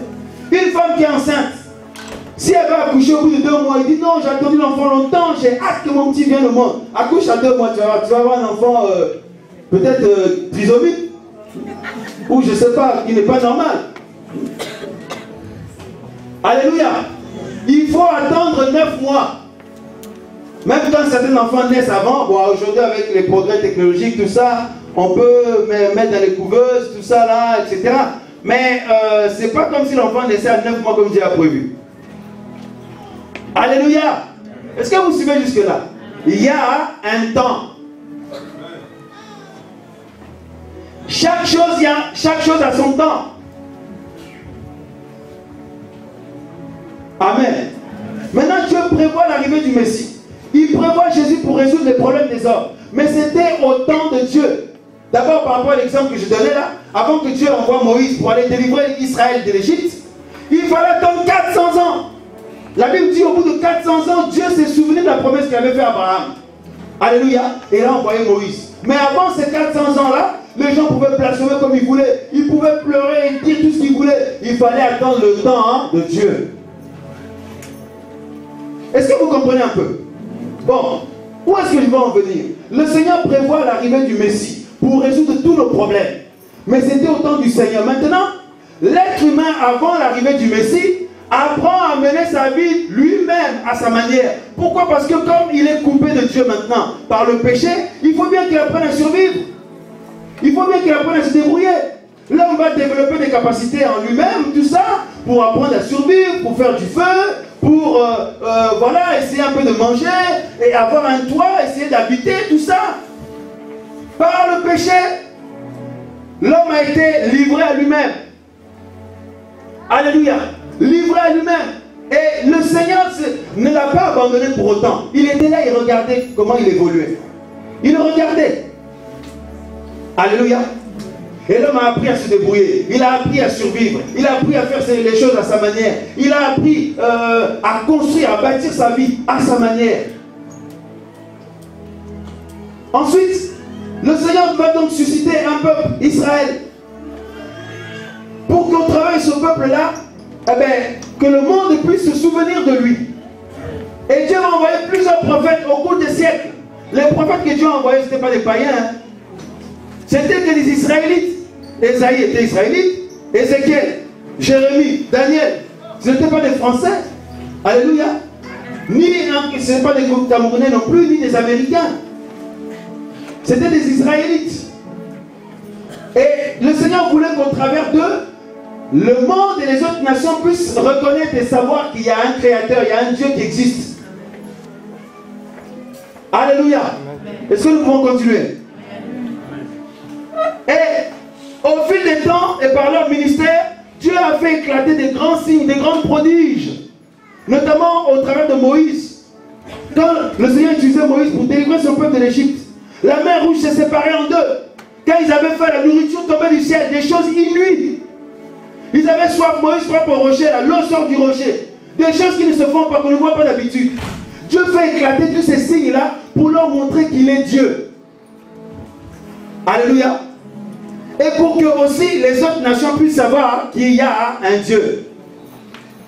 Quand Naaman avait la lèpre, Alléluia, qu'est-ce qui s'est passé? La Bible dit qu'on lui a dit qu'il y a un comment il y a un Israël là-bas, il y a un prophète, un serviteur de Dieu qui peut prier pour toi, pour que tu sois guéri de ta lèpre. Alléluia. Naaman a dû aller en Israël, dans la nation où le Seigneur avait choisi pour qu'il puisse porter son nom. Ça, c'était avant que l'Église puisse naître. Alléluia. Et nous voyons plusieurs péripéties au fil des temps. Avec le peuple d'Israël, le Seigneur voulait leur apprendre beaucoup de choses. Et toutes ces choses que le Seigneur voulait leur apprendre, si on regarde bien, tout se résume à l'obéissance. Même quand Dieu les envoyait en guerre, Saül par exemple, il dit, dévoue tout le monde par interdit. Notamment dans, dans 1, Samuel, euh, 1 Samuel 15. Hein? Dévoue tout le monde par interdit, même les animaux, tout ça. Saül va garder les animaux qui étaient bien pour faire des offrandes avec, comme je partageais à une personne tout à l'heure. Je dis, Saül a dit non, là c'est des animaux qui sont en bonne santé, on va pouvoir faire des offrandes. Faire un sacrifice à Dieu. Mais Dieu envoie Samuel, il dit, mais pourquoi est-ce que tu m'as désobéi encore? Mais non, mais non, Samuel, maintenant, j'aime mon Dieu. Comme j'aime le Seigneur, je vais lui sacrifier des animaux qui sont bien là. Ça veut dire, mais le Seigneur, ne, donc il trouve-t-il du, plaisir dans hein, les sacrifices comme dans l'obéissance à sa parole? Il dit, voici, l'obéissance vaut mieux que les sacrifices et la, la graisse des béliers. Mais qu'est-ce que ça veut dire? Je l'ai gardé de bons animaux pour faire un sacrifice, tout ça, parce que je l'aime. J'estime qu'il est un grand Dieu. Et puis il n'est pas content de ça? Alléluia. Sous le règne de David, pendant qu'on est en train de transporter l'arche de l'alliance, l'arche allait tomber, la Bible dit l'arche allait tomber par terre. Il y a un homme, Usa, qui a dit non, mais l'arche de Dieu ne peut pas tomber par terre, c'est pas possible. Dieu est saint, on ne peut pas laisser son arche tomber par terre. La Bible dit qu'il a sauté pour empêcher que l'arche tombe par terre. Bien aimé, Dieu l'a frappé. Il est mort, Usa. Même David était dépassé, il a dit c'est pas possible, je ne comprends plus rien. Cet homme a voulu faire un acte juste, quelque chose de bien. Mais pourquoi Dieu le frappe comme ça, en plus de mort? Alléluia. C'est choquant, incompréhensible. Ça peut nous pousser à la révolte. Certaines personnes vivent des choses dans leur vie qui peuvent les pousser à la révolte. Combien de fois as-tu voulu te révolter contre Dieu à cause de ce qui t'est arrivé? Pourquoi il m'arrive ça à moi? C'est pas possible après tout ce que j'ai fait. D'autres personnes, ça pourrait leur arriver à eux, mais pourquoi c'est à moi que ça arrive? Et tu as envie de te révolter parce que tu ne comprends pas. Pourquoi moi, seulement moi? Alléluia. On a des envies de révolte. Et si tu te révoltes contre Dieu, qu'est-ce que tu vas faire? Il est au ciel, tu ne peux pas l'atteindre. Mais après, il y a la frustration, il y a le... Voilà, après, ben, on se fait la vie chrétienne à notre manière. Parce que Dieu m'a beaucoup plus de... Ben, je ne voudrais pas dire aux frères et sœurs que Dieu m'a déçu. Parce que voilà, il ne faut pas dire ça, c'est pas décent. Je ne le dirai pas, mais je le pense dans mon cœur. Et surtout, cela va influencer ma vie. Mais quelque part, il y a des choses que Dieu me demande de faire.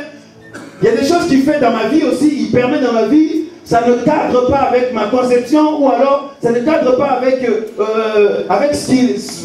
avec. euh, je ne sais pas. Je ne comprends pas. Alléluia. Alléluia.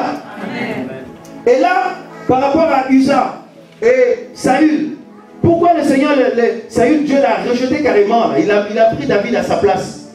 Et Usa, Dieu l'a frappé de mort. Pourquoi? Parce que Dieu avait donné sa loi, sa parole. Dieu voulait que par amour pour lui, nous puissions y obéir. Alléluia. Nous puissions y obéir. Alors, comme ils ont désobéi, parce qu'il ne fallait pas que d'autres personnes puissent toucher l'arche, à part les, à part les lévites, les sacrificateurs précisément. Alléluia. Si tu n'es pas sacrificateur ni lévite, tu viens toucher l'arche, tu, tu as désobéi à la volonté de Dieu. Même si c'est un acte juste. Alléluia. Combien de fois avons-nous voulu bien faire les choses, mais en fait, elle s'est retournée contre nous? Ou voulu avoir des bonnes initiatives, mais au final, ça a empiré les choses. Dis à ton voisin, apprenons à laisser Dieu faire. Alléluia. Tout simplement parce que Dieu voulait leur apprendre l'obéissance. C'est tout. J'en parlais avec mon frère l'autre jour, j'étais content de servir cette co- conclusion. Hmm.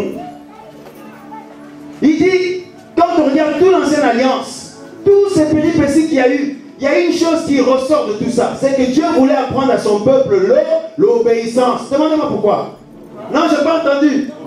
Alléluia, est-ce que nous sommes là? Pourquoi? Bien parce que, parce que Dieu savait qu'il allait venir lui-même bientôt pour visiter sa créature, pour visiter l'homme. Or, Dieu ne peut pas supporter que l'homme qu'il a créé puisse lui résister, lui, lui cracher en face. Avant sa venue, en Israël, il a envoyé des prophètes, il a envoyé sa parole pour que tous ces prophètes-là puissent préparer son peuple. Et vous remarquerez qu'à chaque fois que ces prophètes venaient, ils venaient pour dévoiler la volonté de Dieu au peuple de Dieu. Et tant que le peuple obéissait à cette volonté, ils étaient dans la joie et l'épanouissement. La famille était heureuse, tout le monde était heureux. Et le jour où ils désobéissaient à la parole de Dieu, le Seigneur les livrait entre les mains de l'ennemi. On va dire qu'il est méchant? Non, Dieu n'est pas méchant. Mais Dieu souffre quand on lui désobéit. Alléluia. Je n'ai jamais vu un père et une mère, ils se promènent avec leur enfant, je ne sais pas quel âge il a, peut-être euh, 12 ans. Le père la mère se promènent avec leur enfant, tout ça, tu vois ma soeur, et ils rencontrent des personnes dehors. L'enfant fait un gros molar, il crache ça sur les gens. Il crache. Et les parents sont là, ils disent rien. Non, c'est pas grave. Oh, mon petit, ne crache pas des molars sur les gens, s'il te plaît. Ça m'étonnerait. Des gens que vous ne connaissez pas. L'enfant leur crache un molar dessus. Mais le, père va se tenir la tête. Il dit Qu'est-ce qui, m'arrive là? Même si ce n'est pas lui qui a fait ça, il va dire Qu'est-ce, que- qu'est-ce qui m'arrive? La mère, pareil, parce que c'est qui? C'est leur enfant. Alléluia. Donc ils vont être concernés par rapport à cette situation. Comment cet enfant peut faire une horreur pareille?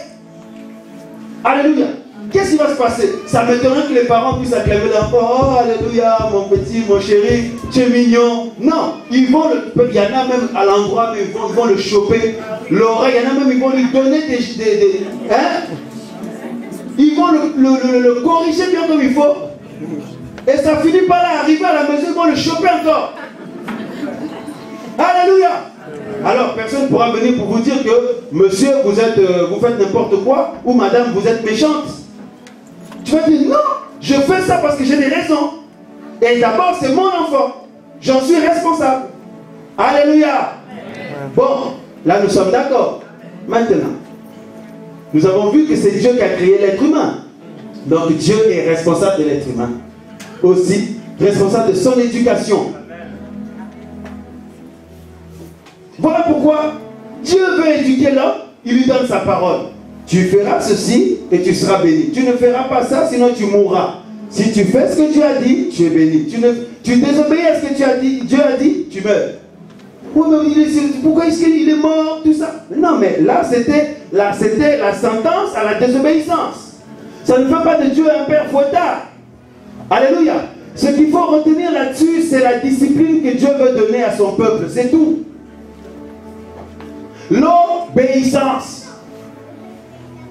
Si pour nous les êtres humains, c'est nécessaire avec nos enfants, mais alors Dieu, vous imaginez comment aujourd'hui l'homme mène sa vie comme il veut, hein, n'ayant rien à faire du Seigneur. Vous imaginez comment Dieu en souffre? Dieu envoie des prophètes. Quand les prophètes arrivaient, on n'aimait pas les prophètes. Hein. Ah non, non, non, parce qu'il dit, oh là là, il y en a, ils avaient même peur. Oh là, le prophète Samuel est arrivé dans la ville. Qu'est-ce qui va se passer? Est-ce qu'il va déclarer quelque chose? Euh, Un feu qui va nous embraser Quelque chose qui va nous arriver? Ils avaient peur. Alléluia. Et là, il venait, il leur exposait la volonté du Seigneur. Et ceux qui faisaient la volonté du Seigneur étaient bénis par Dieu. Dieu ne peut pas résister aux gens qui lui obéissent. Non. Dieu va s'opposer à toi si tu désobéis. Et en plus, va s'opposer à toi comment Par amour. Parce que s'il te laisse comme ça, tu prends un chemin, le chemin de la mort. Dans la vie de tous les jours, au sein de ton foyer, de ton travail, dans ta vie personnelle, dans, dans les études, dans tes projets sociaux, donc, euh, euh, comment Euh, Tes finances, tout. Dieu veut t'apprendre, t'éduquer, t'instruire pour que tu sois comme lui veut que tu sois. Dieu va patienter, il va envoyer des prophètes, il va envoyer des prophètes. Et à chaque fois que ces prophètes venaient, c'est la même chose qui continuait. Dieu voulait apprendre l'obéissance à, son peuple. Jusqu'au dernier prophète, Jean-Baptiste. Alléluia. Jean-Baptiste qui est venu pour préparer le chemin du Seigneur. Vous imaginez la souffrance du Seigneur Il se dit, mais j'ai essayé de les interpeller pendant des années, des années. Ils n'écoutent toujours pas. Ils ont toujours le cou raide. Mais là, je suis bientôt le temps que j'avais prévu pour venir en personne moi-même. Le temps là arrive. Je dois y aller sur cette terre moi-même, les rencontrer. Est-ce que je vais trouver encore la désobéissance? Est-ce que je vais trouver le rejet? Etc. Non, je, je- le Seigneur souffrait de ça. Il dit non, je vais encore envoyer un dernier, Jean-Baptiste. Et souvenez-vous de la mission de Jean-Baptiste. C'était pour préparer les cœurs au Seigneur. Le premier, préparer les cœurs à l'arrivée du Seigneur. C'était ça sa mission. De préparer tout le monde que non, le Seigneur arrive en personne. Apprenez l'obéissance. Arrêtez la désobéissance, la méchanceté. Laissez tout ce que Dieu n'aime pas. Parce qu'il arrive lui-même, il va falloir l'écouter, frère. Jusqu'à ce que Jean-Baptiste a été décapité. Jésus arrive lui-même. Malheureusement, il rencontre encore l'opposition, la rébellion, la désobéissance. Combien le Seigneur souffrait Vous vous souvenez pourquoi quand les disciples lui posaient des questions parfois, Seigneur, nous n'avons pas compris cette parabole, explique-nous. Il leur disait, vous aussi, vous êtes sans intelligence. On peut dire, oui, mais Jésus, euh, mais attends, mais il leur posait la question qu'une fois. Pourquoi il leur dit ça? Il pourrait leur répondre avec sourire, tout ça. C'est parce qu'il souffrait dans son cœur. Le simple, le simple fait même d'être venu sur cette terre, le simple fait même d'avoir pris la forme humaine, c'était une souffrance pour lui. Parce qu'il est adoré au siècle des siècles, il accepte de se rabaisser plus bas que les anges pour venir te voir toi. Parce qu'il t'a envoyé des messagers, toi et moi, on n'arrivait pas à écouter ces messagers-là. Il dit alors j'irai moi-même. J'irai moi-même pour leur montrer le chemin. Et il est venu, plus il leur parlait, plus il les instruisait, mais les gens ne comprenaient toujours pas. Quelle souffrance La souffrance du Seigneur n'a pas commencé à la croix, vous savez. Ça a commencé depuis le jour où il a accepté de quitter le ciel, de quitter sa gloire. Sa souffrance a commencé là-bas. Quand il est né, bien aimé, il était déjà dans la souffrance.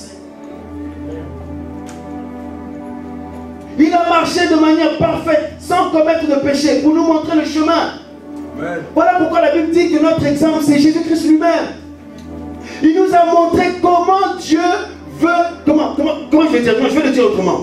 Il nous a montré l'image véritable que Dieu veut de l'homme.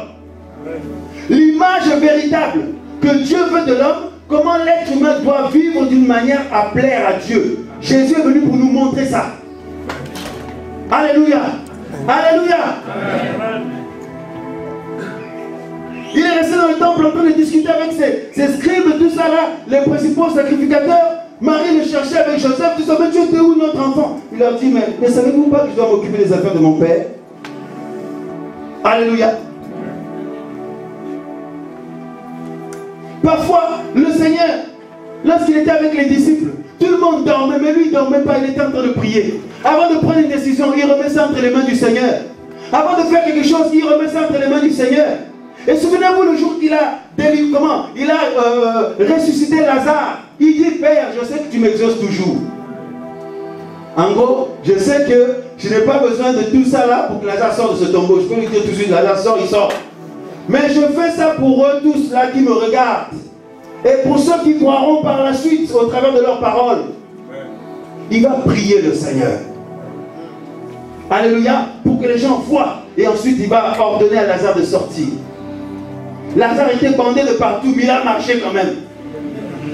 On vous bande les jambes, les mains, tout ça, mais au nom de Jésus, à l'appel de Jésus-Christ, tout, tout s'enlève. Même avec les bandes là, vous arrivez à marcher. Parce que Jésus t'a appelé. Même si tu es dans une situation où tu ne peux pas te sortir, te lever, quand Jésus t'appelle, on y obéit automatiquement. Parce que là, ton corps même reconnaît la voix de celui qui l'a créé. Même ça, tu dis non, non, moi je n'irai pas, mais ton corps ne même pas. Alléluia. Jean-Baptiste meurt, le Seigneur arrive en personne. Il prêche le royaume de Dieu, il prêche, il parle du Père, il parle du Père. Et vous, verrez, vous remarquerez que la relation de Jésus avec le Père, c'était donc c'était une relation d'amour. Alléluia. Bon, il ne faut pas croire que Jésus est sur la terre, mais il prie quelqu'un d'autre qui est au ciel, il y a deux personnes. Non, non, non, non, non. C'était une fonction, c'est tout. Alléluia.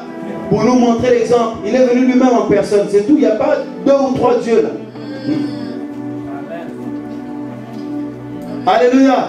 Oh non, mais je ne comprends pas comment il était sur la terre, mais il priait quelqu'un d'autre qui est au ciel. Ah non, mais non, mais Dieu peut tout faire. C'est juste pour nous montrer l'exemple. Il ne faut pas chercher à cadrer ça avec ton intelligence. Parce que ton intelligence et le mien, c'est trop petit. Alléluia. Tout ce tableau-là, c'est l'intelligence de Dieu.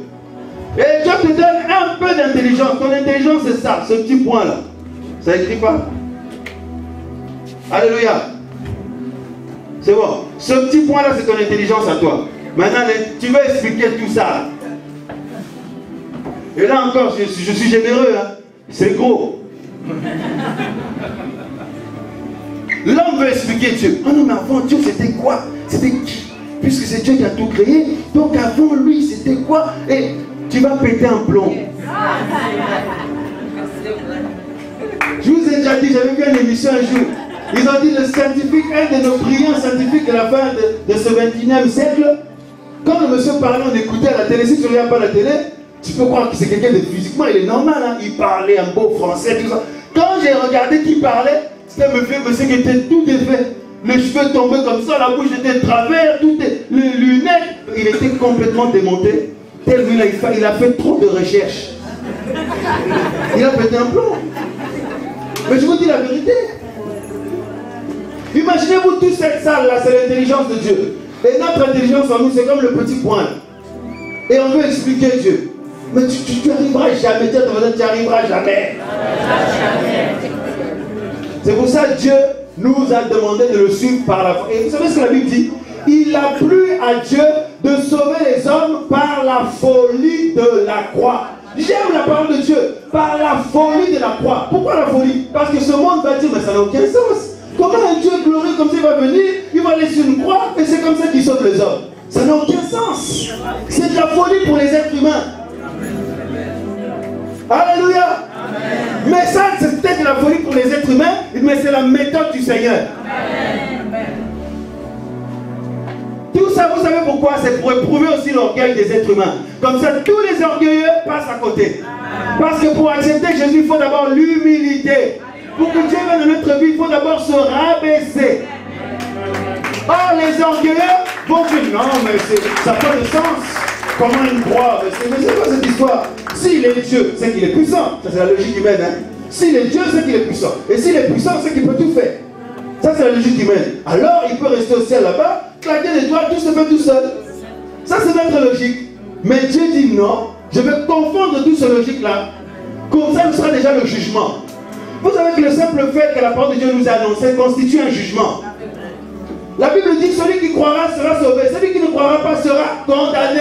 Rien que quand tu entends la parole de Dieu, tu es dans le jugement. C'est un jugement qui est là devant toi. Si tu acceptes, tu es sauvé. Si tu n'acceptes pas, tu es condamné. Waouh! Il a plu à Dieu de sauver les hommes par la folie de la croix. Dis à ta voisin la folie de la croix. Non, il t'a pas entendu. Dis-lui la folie de la croix. Et Paul dit, je n'ai point honte de la, je honte de la croix. Alléluia. Je n'ai point honte de l'évangile. Parce que c'est la puissance de Dieu pour le salut de quiconque croit. Comment quelqu'un peut aller mourir et sa mort délivre les autres? Ça sert à rien, ça n'a aucun sens. C'est pour ça même quand il était vivant, avant de mourir pour nous sauver, les disciples ne comprenaient pas pourquoi il disait qu'il fallait qu'il meure et qu'il ressuscite. Ils ne comprenaient pas. Ils disent si tu es vraiment venu pour nous sauver, alors pourquoi tu vas mourir? Si tu meurs, comment nous on va faire? Alléluia. En plus, c'est terrible ce qui est là arrivé. Il est mort, non seulement il est mort, et quand il est ressuscité le troisième jour, il est parti encore au ciel. Alors qu'il il a commencé à leur apparaître, il pouvait être content, mais c'est bon, il est revenu à la vie. Au début, il croyait que c'était un fantôme. Quand Jésus marchait sur l'eau, la pierre et les autres, ils ont dit non, c'est un fantôme qui arrive là. Mais quand ils ont vu que c'était vraiment le Seigneur, ils étaient dans la joie, ils croyaient que le Seigneur allait rester avec eux là. Il a dit non, je vous laisse encore. Je retourne là-haut. Tu viens, tu dis que tu vas nous sauver, tu meurs, tu nous laisses tout seul, et tu reviens de la mort, tu, pars au ciel pour nous laisser encore tout seul. Comment on va faire? Alléluia Le Seigneur dit, je ne vous laisserai pas orphelin. Je vous envoie le Saint-Esprit, le consolateur. Je serai avec vous tous les jours par mon Esprit Saint. Donc tu, tu as en toi, en permanence, le Seigneur qui est en toi et qui veut orienter ta vie. Waouh Alléluia Le Seigneur, comme il sait que si lui-même il ne fait pas les choses, les choses ne seront pas bien faites. S'il nous laisse nous faire, ce serait mal fait. Lui-même, il est venu, a tout accompli. Et quand il était sur la croix, souvenez-vous quand on lui a donné le vinaigre là, avec l'éponge, il a dit tout est accompli. Quoi? Ben, Toutes les exigences de Dieu pour sauver l'homme. Maintenant, Dieu lui-même a tout accompli. Maintenant, quand il est monté au ciel, il est parti dans le tabernacle céleste avec son propre sang. Alléluia. D'après Hébreu 9, il a traversé un tabernacle qui n'est pas fait de main d'homme, qui n'est pas de cette création, mais qui est de la création de la création céleste, qui n'est pas de ce monde. Jésus est entré là-bas en tant que souverain prêtre, avec son propre sang, pas le sang des taureaux, ni des boucs, mais le, sang de Jésus-Christ de Nazareth, le sang divin. et qu'elle l'a présenté au Père bien-aimé. La rédemption a été accomplie. Le Seigneur a agréé le sang de Jésus. Il a agréé le sacrifice. Maintenant, grâce à ce sang qui a coulé, Dieu, quand il te regarde, c'est le sang de Jésus qui te couvre. Et au travers du sacrifice de Jésus, Dieu te regarde comme juste. Malgré les fautes que tu as, les faiblesses que tu as, les imperfections que tu as, Dieu te regarde comme juste. Grâce à Jésus. C'est pourquoi nous, nous, nous pouvons chanter comme des malades pour lui. Nous pouvons le louer et l'exalter. Parce que nous réalisons la- la- l'ampleur, la, grandeur de ce qu'il a fait pour nous. Et c'est là que commence la vie chrétienne. Après la venue du Saint-Esprit, l'église est née dans Acte 2. Alléluia. L'église est née à partir de ce moment-là, bien aimé. Donc, euh, on pouvait vivre la nouvelle naissance, la conversion. Pas comme autrefois, parce que les disciples avant, avant que Jésus meure et ressuscite, ils avaient, ils avaient cru au Seigneur Jésus, mais ils étaient comme les, les- les- les- croyants d'avant euh, d'avant la grâce. Ils étaient comme eux. Ils ne pouvaient pas vivre la nouvelle naissance comme nous la vivons actuellement. Alléluia. Ils ne pouvaient pas vivre la conversion comme nous la vivons actuellement. Il fallait qu'ils attendent acte 2, la venue de l'Esprit Saint. Et quand l'Esprit est venu, ils ont expérimenté, ah, alléluia, la puissance de la résurrection. Ils ont reçu le Saint-Esprit en eux. Ils ont reçu la conversion du Seigneur. Ils ont commencé à prêcher la repentance. La repentance, le pardon des péchés au nom de Jésus. Et la conversion aussi. Alléluia. Et aujourd'hui, bien aimés, tous ceux qui reçoivent Jésus dans leur vie, nous recevons le Saint-Esprit. Parce que quand tu reçois Jésus, Jésus vient en toi comment? Comment est-ce qu'il vient en toi? Par son Esprit Saint.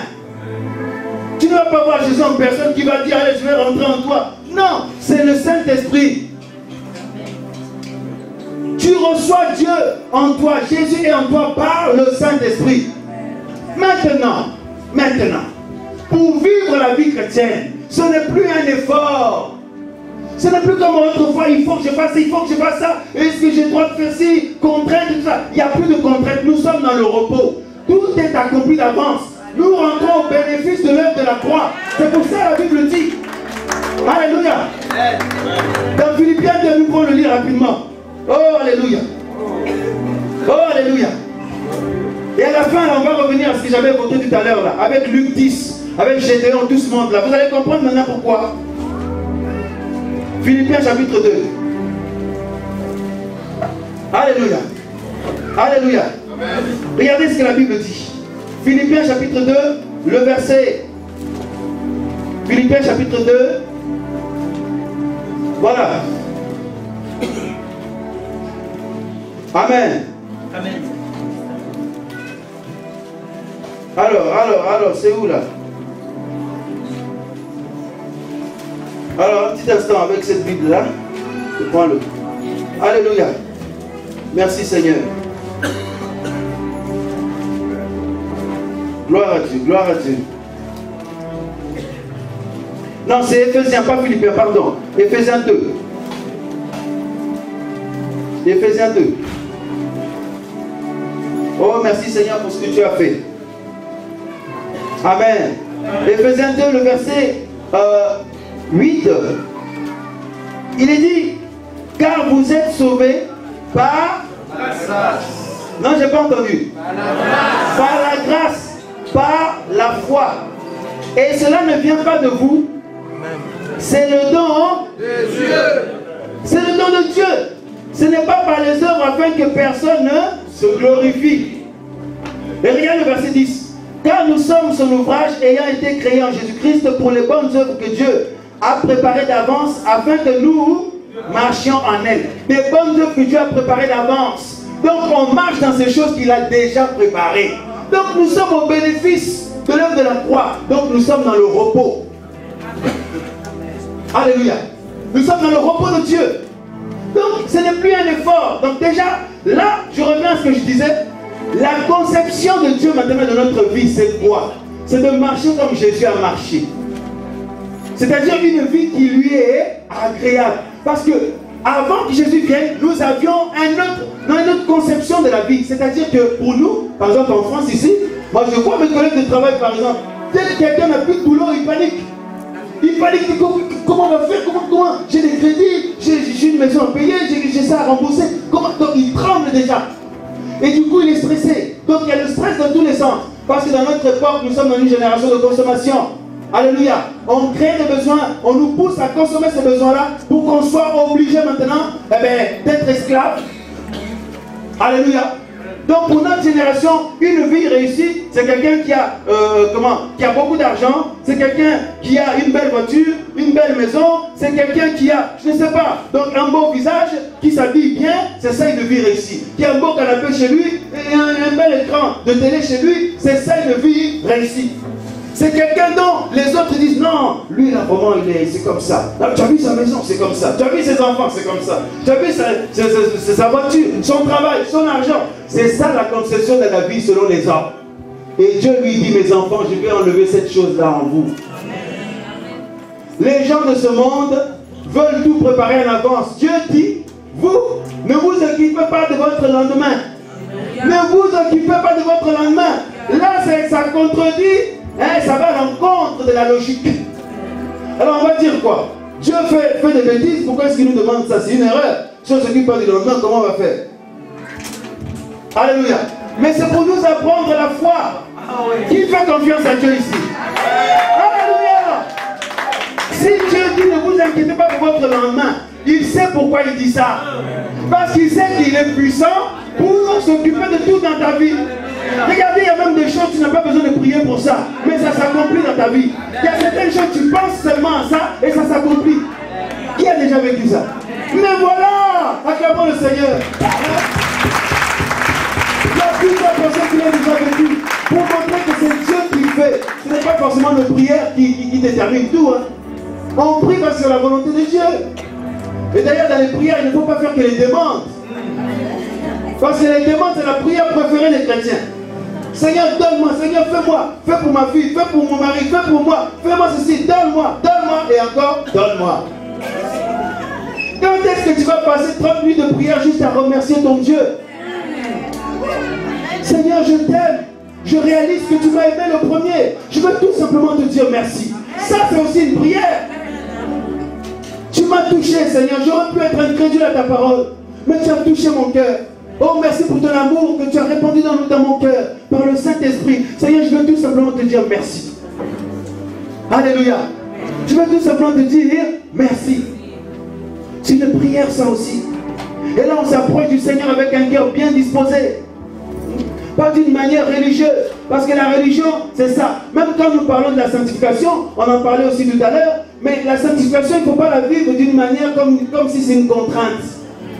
Il faut le comprendre qu'on se sanctifie par amour pour Dieu. D'ailleurs, ça ne se force même pas. C'est naturel. C'est une vie qu'on a reçue. On a reçu de Dieu la vie de sainteté. Tu l'as reçu, je l'ai reçu. C'est comme un vêtement que tu as reçu que tu dois mettre sur toi. C'est tout. Alléluia. L'obéissance. Qui veut obéir à Dieu? Waouh. Tout le monde. L'obéissance, frères et sœurs. Avec le Seigneur, le secret de la réussite, c'est l'obéissance.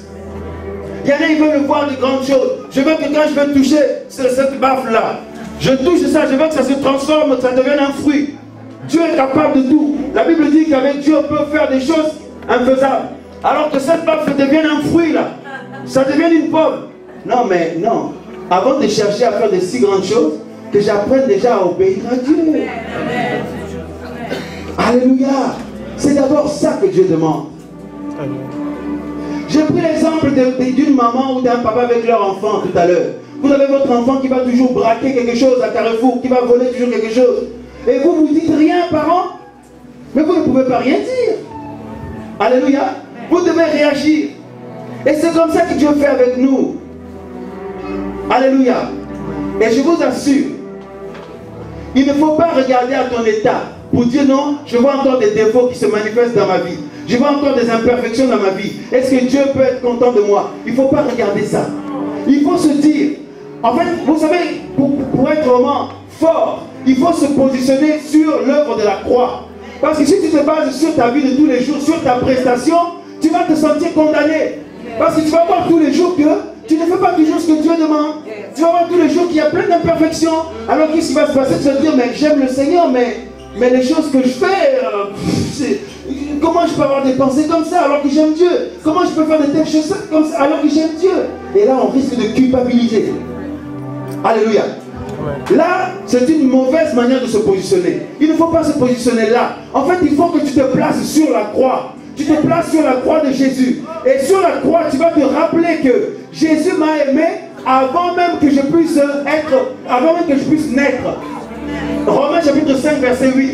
Dieu prouve son amour envers nous. Parce que lorsque même nous étions des pécheurs, Jésus est mort pour nous. Notre force est sur la croix de Jésus. Donc tu vas t'approcher de Dieu. Pas selon ce que tu fais, ce que tu dis. Non, tu vas dire non, le Seigneur m'a aimé malgré moi.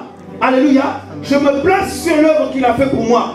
Je me place sur l'œuvre qu'il a fait. Moi, je ne mérite rien de lui. Mais je crois tout simplement. Je crois tout simplement à, à, ce que Jésus a fait pour moi. Et je veux marcher comme il me demande. Alléluia.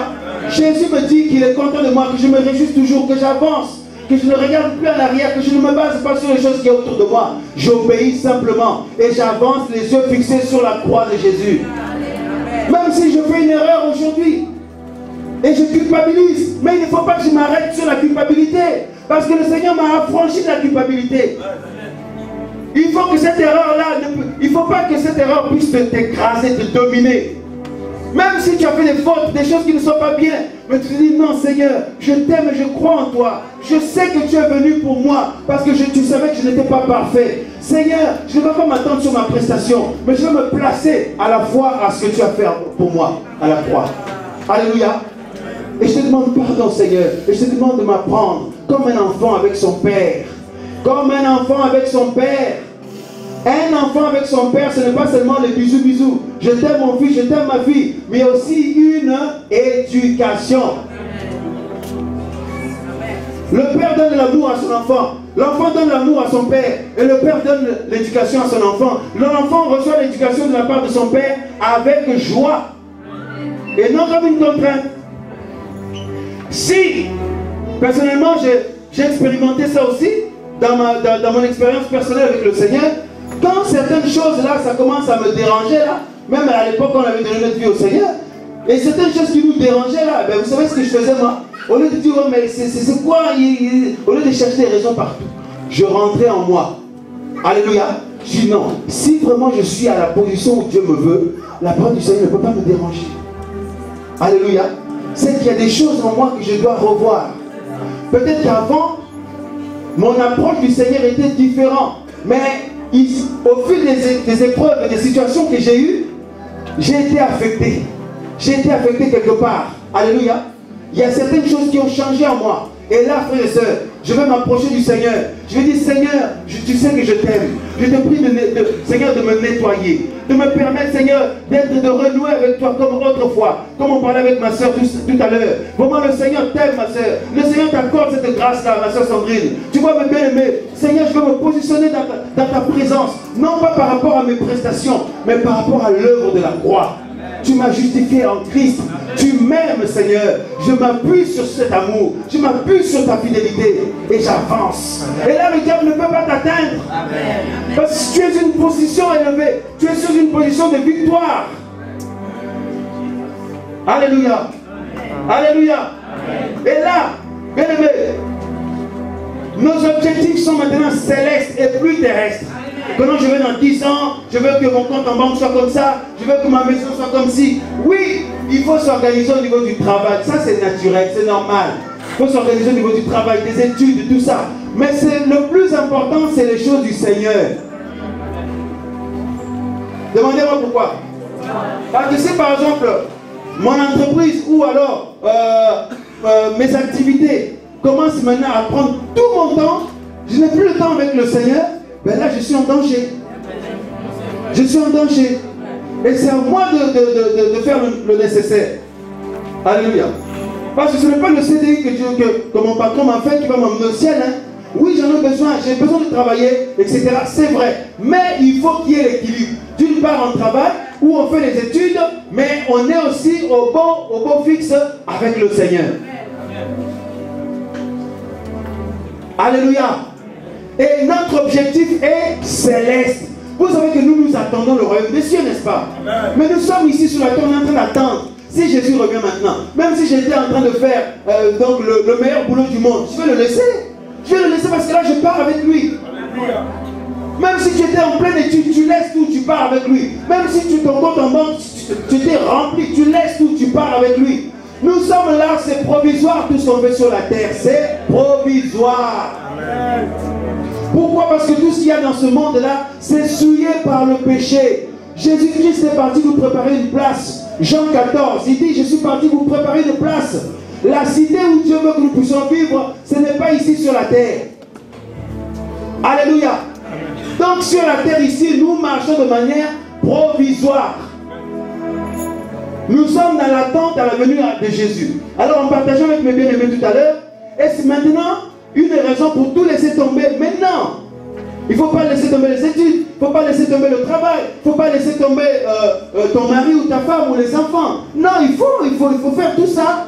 Mais au travers de tout ça, on est toujours prêt avec le Seigneur. Alléluia. Mais bien sûr, on peut faire plusieurs choses à la fois. Regardez en même temps, on parle, on respire en même temps. Tellement c'est naturel, on ne se rend même pas compte qu'on respire.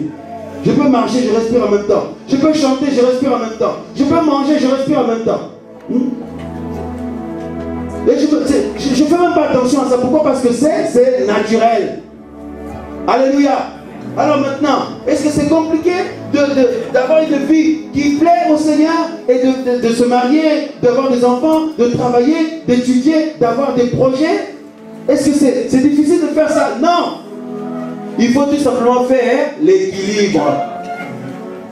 Tous nos projets, on les met entre les mains du Seigneur. Voilà. Et Dieu n'est pas contre les projets. Il n'est pas contre le fait que je travaille, que j'étudie, ou que, que, je me marie, ou que... Voilà. Dieu n'est pas contre tout ça. Mais il veut qu'on puisse faire l'équilibre. Comme ça, tôt ou tard, quand il arrive, on part. Alléluia. Je veux dire une chose. Quand quelqu'un passe, part en vacances, est-ce que si par exemple toi tu habites à Poitiers ici, tu pars en vacances en Espagne par exemple, ou alors tu pars en vacances en Italie, tu sais que tu es parti pour 15 jours. Quand tu vas arriver là-bas, est-ce que tu vas te comporter comme si tu habites là-bas tout le temps? Même si tu as loué une maison, tu sais très bien que tu es là pour 15 jours. Alléluia. Tu ne vas pas aller acheter un canapé pour mettre dans cette maison-là. Que tu sais que ce n'est pas à toi, c'est provisoire. Alléluia. Oh non, mais je, vais, voilà, je m'installe bien comme il faut, tout ça. Parce que je suis bien dans cette maison. Oui, mais là, tu es en vacances. Tu n'es pas chez toi. Un jour, tu dois rentrer dans ta vraie demeure.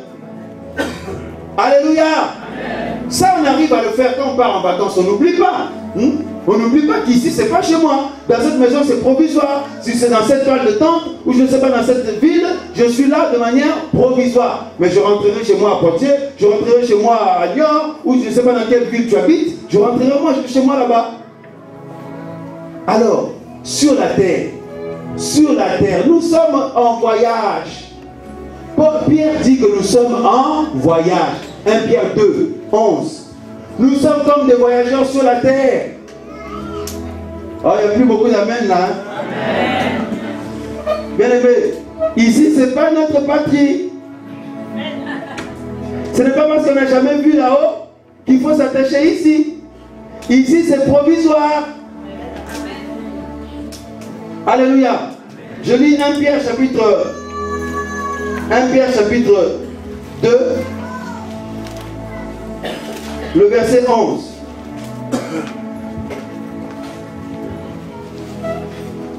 Il est dit, mes bien-aimés, je vous exhorte comme étrangers et voyageurs à vous abstenir de convoitises charnelles qui font la guerre à l'âme. Étrangers et voyageurs. Si on a cette optique-là, vous savez les premiers chrétiens comment ils vivaient?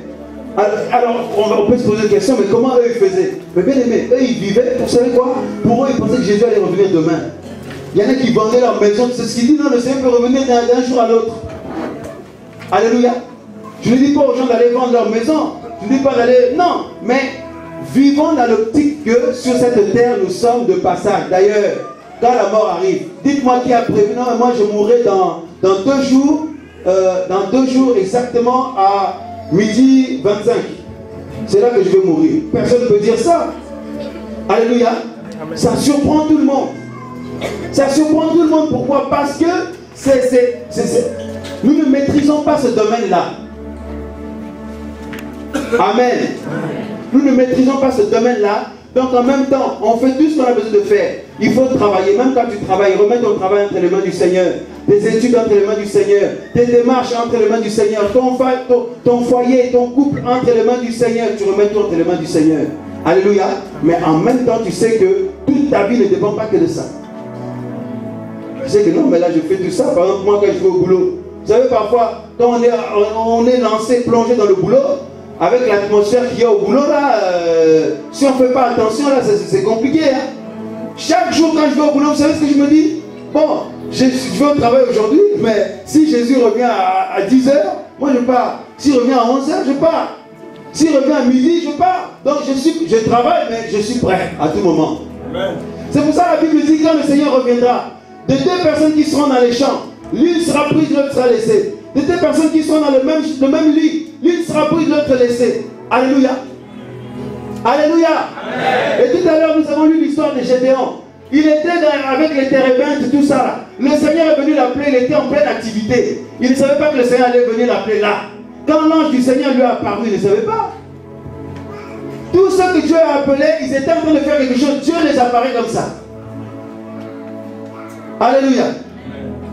Maintenant, comme ils n'étaient pas attachés à toutes ces choses, ils ont suivi le Seigneur. Maintenant, pour finir, je reviens à ce que j'avais pris au début. Jésus dit à ses disciples, allez, ne prenez ni bourse, ni sac, ni toutes ces choses-là. Ce sont des choses qui peuvent nous alourdir. Et la richesse qu'on a évoquée tout à l'heure, il peut avoir plusieurs richesses, pas que l'argent. Le fait d'être attaché au monde et aux choses de ce monde, c'est ça le, but du malin. Souvenez-vous quand le malin a tenté Jésus, il a dit quoi? Il a dit, regarde tout ce monde-là et tous ces pays, toutes ces choses qui sont beaux dans le monde, c'est à moi. Le diable dit, si tu m'adores, je te donnerai tout ça. Mais Jésus, comme lui, sa vision n'était pas terrestre, lui n'est pas tombé dans le piège. Mais nous, les enfants de Dieu, bien aimés, le diable travaille au niveau de nos pensées. Au final, tellement qu'on est entouré des gens qui ne croient pas en Dieu, eh bien, on commence à voir certaines choses comme eux. On commence à voir la vie comme eux. On a du mal à se démarquer. On a vraiment du mal. Il y a des gens qui ont vraiment du mal à se démarquer. Parce que nous sommes en minorité sur la terre. Mais qu'est-ce que la Bible dit? Le chemin du ciel est étroit. Très peu de gens le trouvent. Mais le chemin qui emmène loin du Seigneur, c'est large. Tout le monde passe par là. La Bible dit, beaucoup passent par là. Mais ceux qui trouvent le chemin du ciel, c'est donc leur nombre est vraiment restreint. Mais moi, je veux faire partie de ce, de ce nombre-là. Je veux faire partie de ce reste-là. Et je souhaite que toi aussi, tu fasses partie de ce reste-là. Et c'est ce que le Seigneur veut. Alléluia. Donc au fur et à mesure, au fur et à mesure, tellement le Seigneur ne revient pas tout de suite, on, commence à s'apesantir, on commence à s'habituer au monde, on commence à reprendre goût du monde, et on commence à, voilà, les choses commencent petit à petit, petit à petit. Frère, c'est pour ça la parole de Dieu est là. C'est une lampe, une lumière. Alléluia. Une lampe à nos pieds, une lumière sur notre sentier, pour nous montrer, attention là où tu vas mettre les pieds. Alléluia. Donc ce n'est pas pour nous déranger, au contraire, c'est pour notre bien. Alléluia. Ça peut peut-être nous chambouler un peu tout ça, mais c'est pour ton propre bien. Tiens, c'est pour ton propre bien. Quand un parent reprend son enfant, l'enfant a l'impression que son parent est méchant, mais c'est pour son propre bien. Mais l'enfant, si vous le questionnez, il va dire non, mais j'en ai marre, on me reprend toujours, on me fait toujours ceci. L'enfant prend ça mal, alors que c'est par amour que ses parents font ça. Alléluia. Après la douleur vient la joie. Le sentiment de difficulté qu'on a là, c'est dans la chair. Dis à ton c'est dans la chair. Dis-lui, c'est dans la chair. Mais très bientôt, là, le Seigneur va nous sortir de là. Une femme enceinte va avoir les douleurs d'enfantement. Elle va avoir la nausée. Elle va avoir des difficultés. Jusqu'au jour de l'accouchement, elle accouche dans la douleur. Elle crie, elle pleure, tout ça là. Frère, soeur, mais quand l'enfant naît, quand l'enfant vient au monde, laisse cette femme oublie tout. Elle oublie qu'elle avait eu mal, elle oublie les douleurs qu'elle avait, la nausée qu'elle avait, elle pense même que tout ça, elle contemple l'enfant. Mon bébé, mon chéri, tu es là. Alléluia.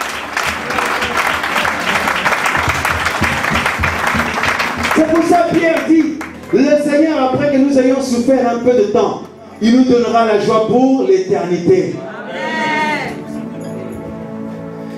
Sur cette terre-là, c'est pour un peu de temps. Alléluia. Le paradis, ce n'est pas ici sur la terre. là. Ce n'est pas dans la chair. Maintenant, pour finir, en nous, il y a la chair. La chair, ce n'est pas que le, le- le corps physique. La Bible, quand la Bible parle de la chair, il y a le corps physique, mais il y a aussi une puissance de péché qui est en nous. Voilà. Il y a d'autres versets où la Bible parle de la chair, c'est le corps. Il y a d'autres versets où la chair, ce n'est pas le corps, mais c'est une puissance de péché qu'il y a dans nos membres. Alléluia. Et nous, nous voulons faire le bien, mais cette puissance de péché agit pour nous empêcher de faire le bien. J'expliquerai ça bientôt, je ferai des émissions sur Vivre l'Évangile pour ça, parce que c'est long l'enseignement. Alors, maintenant on peut culpabiliser pour dire, mais c'est pas possible, j'aime Dieu, mais je sens en moi quelque chose de, de mauvais, mais je sais- comment ça se fait que je suis comme ça? Mais en fait, c'est pas toi. Alléluia. C'est le venin du serpent. Pour que l'homme tombe dans le péché, Satan l'a mordu. Tout serpent a du venin.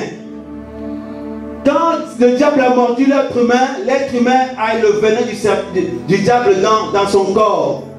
Et ce venin-là, bien aimé, c'est, quelque chose de vivant. C'est comme un démon. La chair, la puissance de péché qui est dans le monde, bien aimé, quand ça se met à s'activer en toi, tu peux avoir l'impression que tu es possédé. hein. Tu peux avoir l'impression que tu es possédé.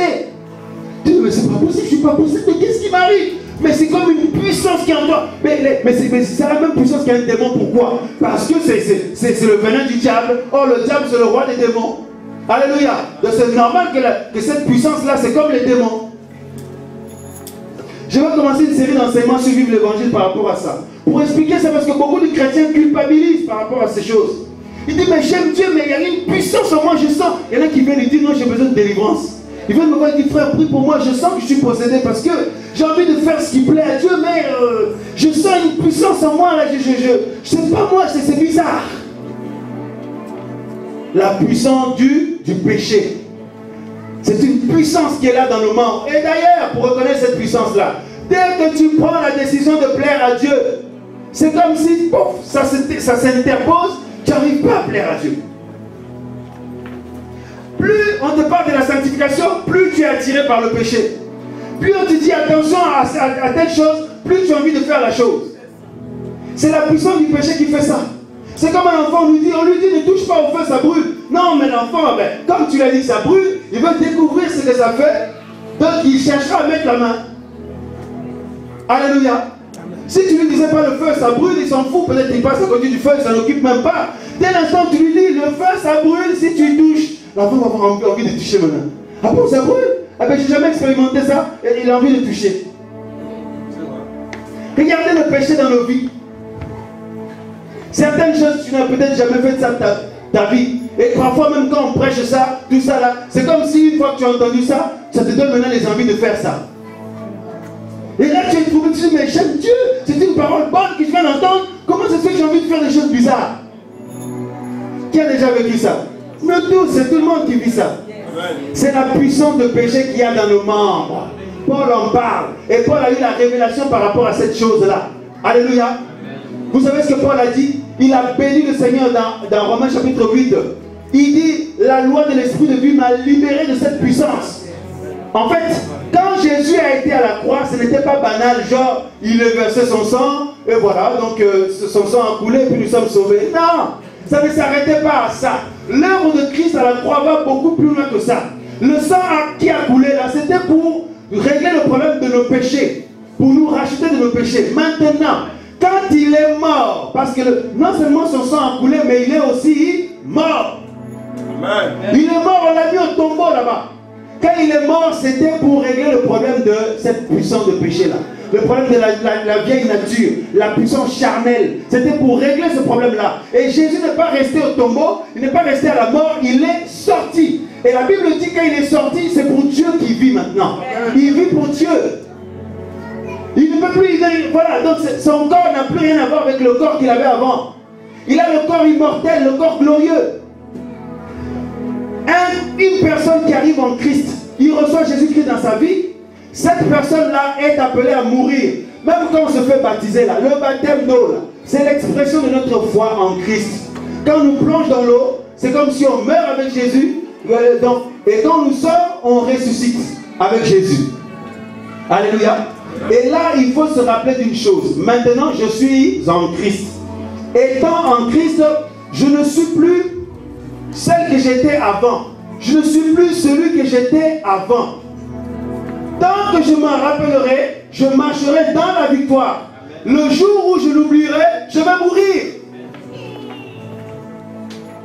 Alléluia. J'ai donné l'exemple à un frère. On était chez moi avant que je déménage.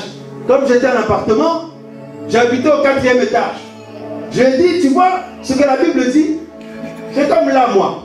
Je monte chez moi au quatrième étage. Et j'oublie que je suis au quatrième étage. Tant que je n'oublie pas que je suis au quatrième étage, je, vous ne me verrez pas ouvrir la porte de, de mon salon pour aller au balcon.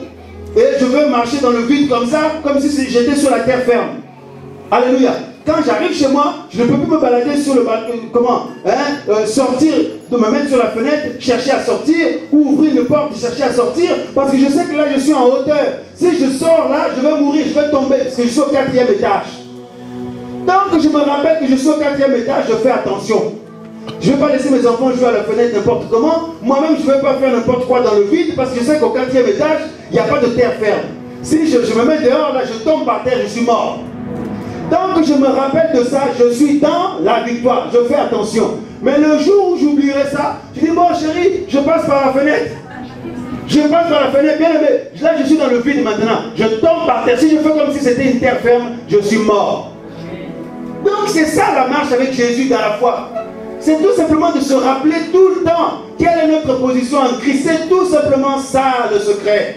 Tant que je m'en rappelle que je suis une nouvelle créature en Christ, Jésus m'a changé. Je ne suis plus le Sylvain d'avant. Qui aimait, je ne sais pas, la cigarette. Qui aimait, je ne sais pas, la musique du monde. Qui aimait, je... non, je ne suis plus celui-là. Je suis maintenant une nouvelle créature en Christ. J'aime les choses du ciel. J'aime la prière. J'aime la présence de Jésus. Et bien aimé, tant que je me rappelle de ça, je marche dans la fermeté. Mais le jour où je dis, bon, ben, je vais faire un petit break, je tombe. Alléluia.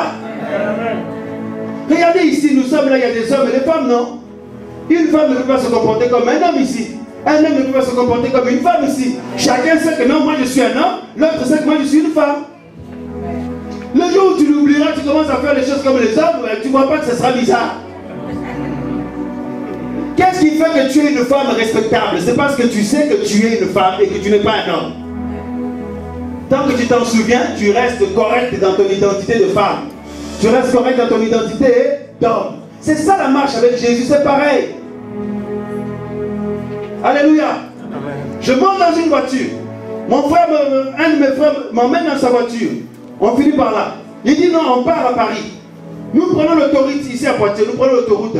Et en pleine autoroute à 100 km, 130 km je dis bon, ben, je vais ouvrir la porte pour me promener un peu.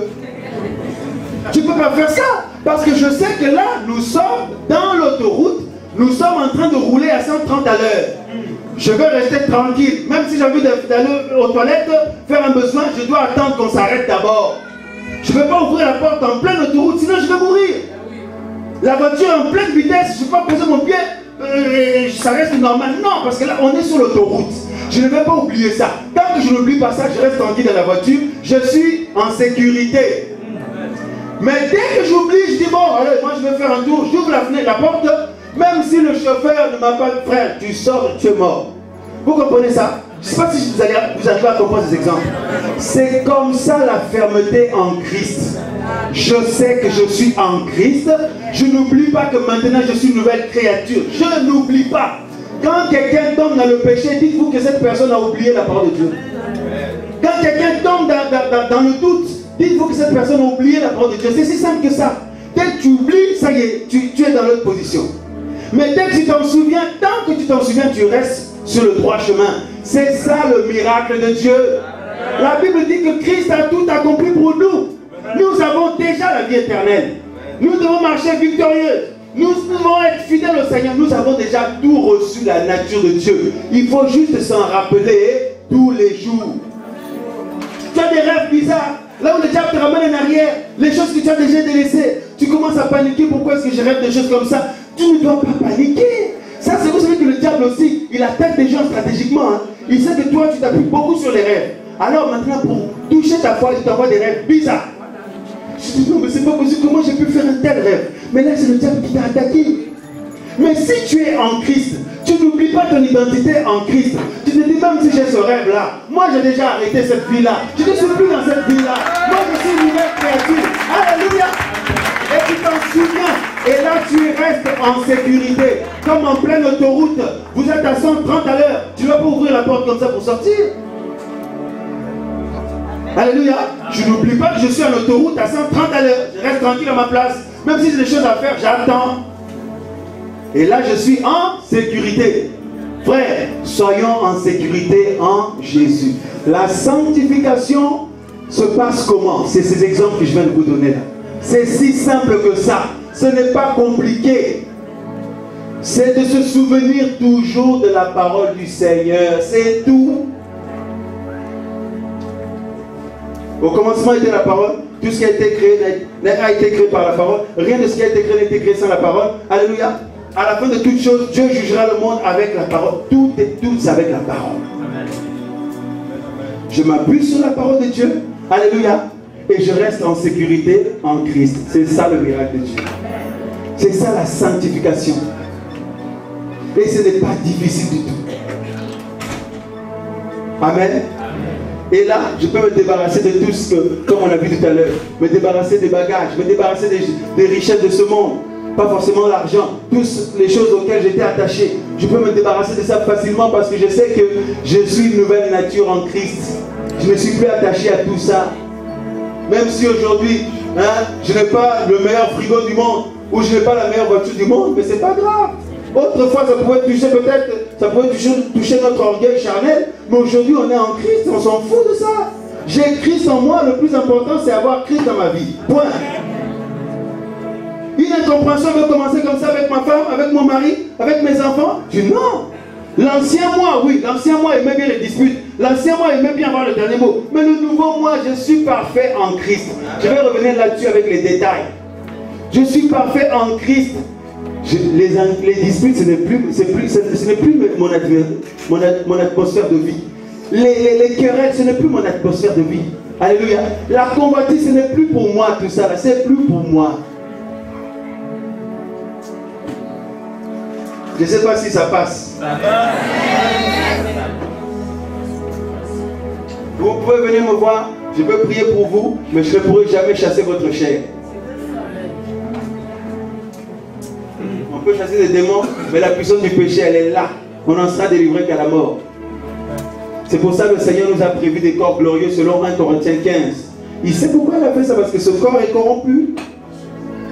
Alléluia.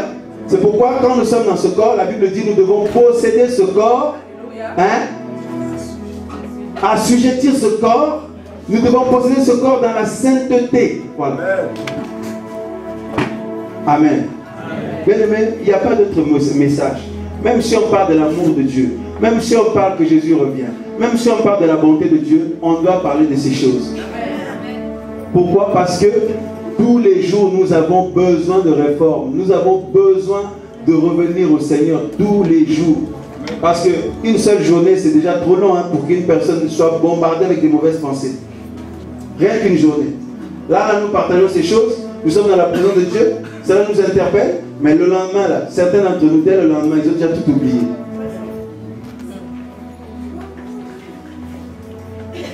Amen.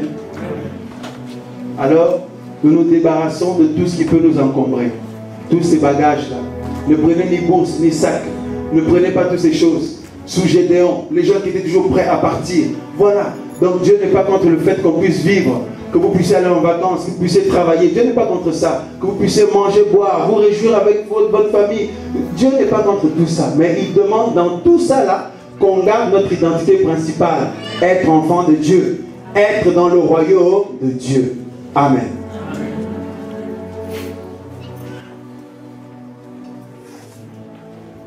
Que Dieu soit béni.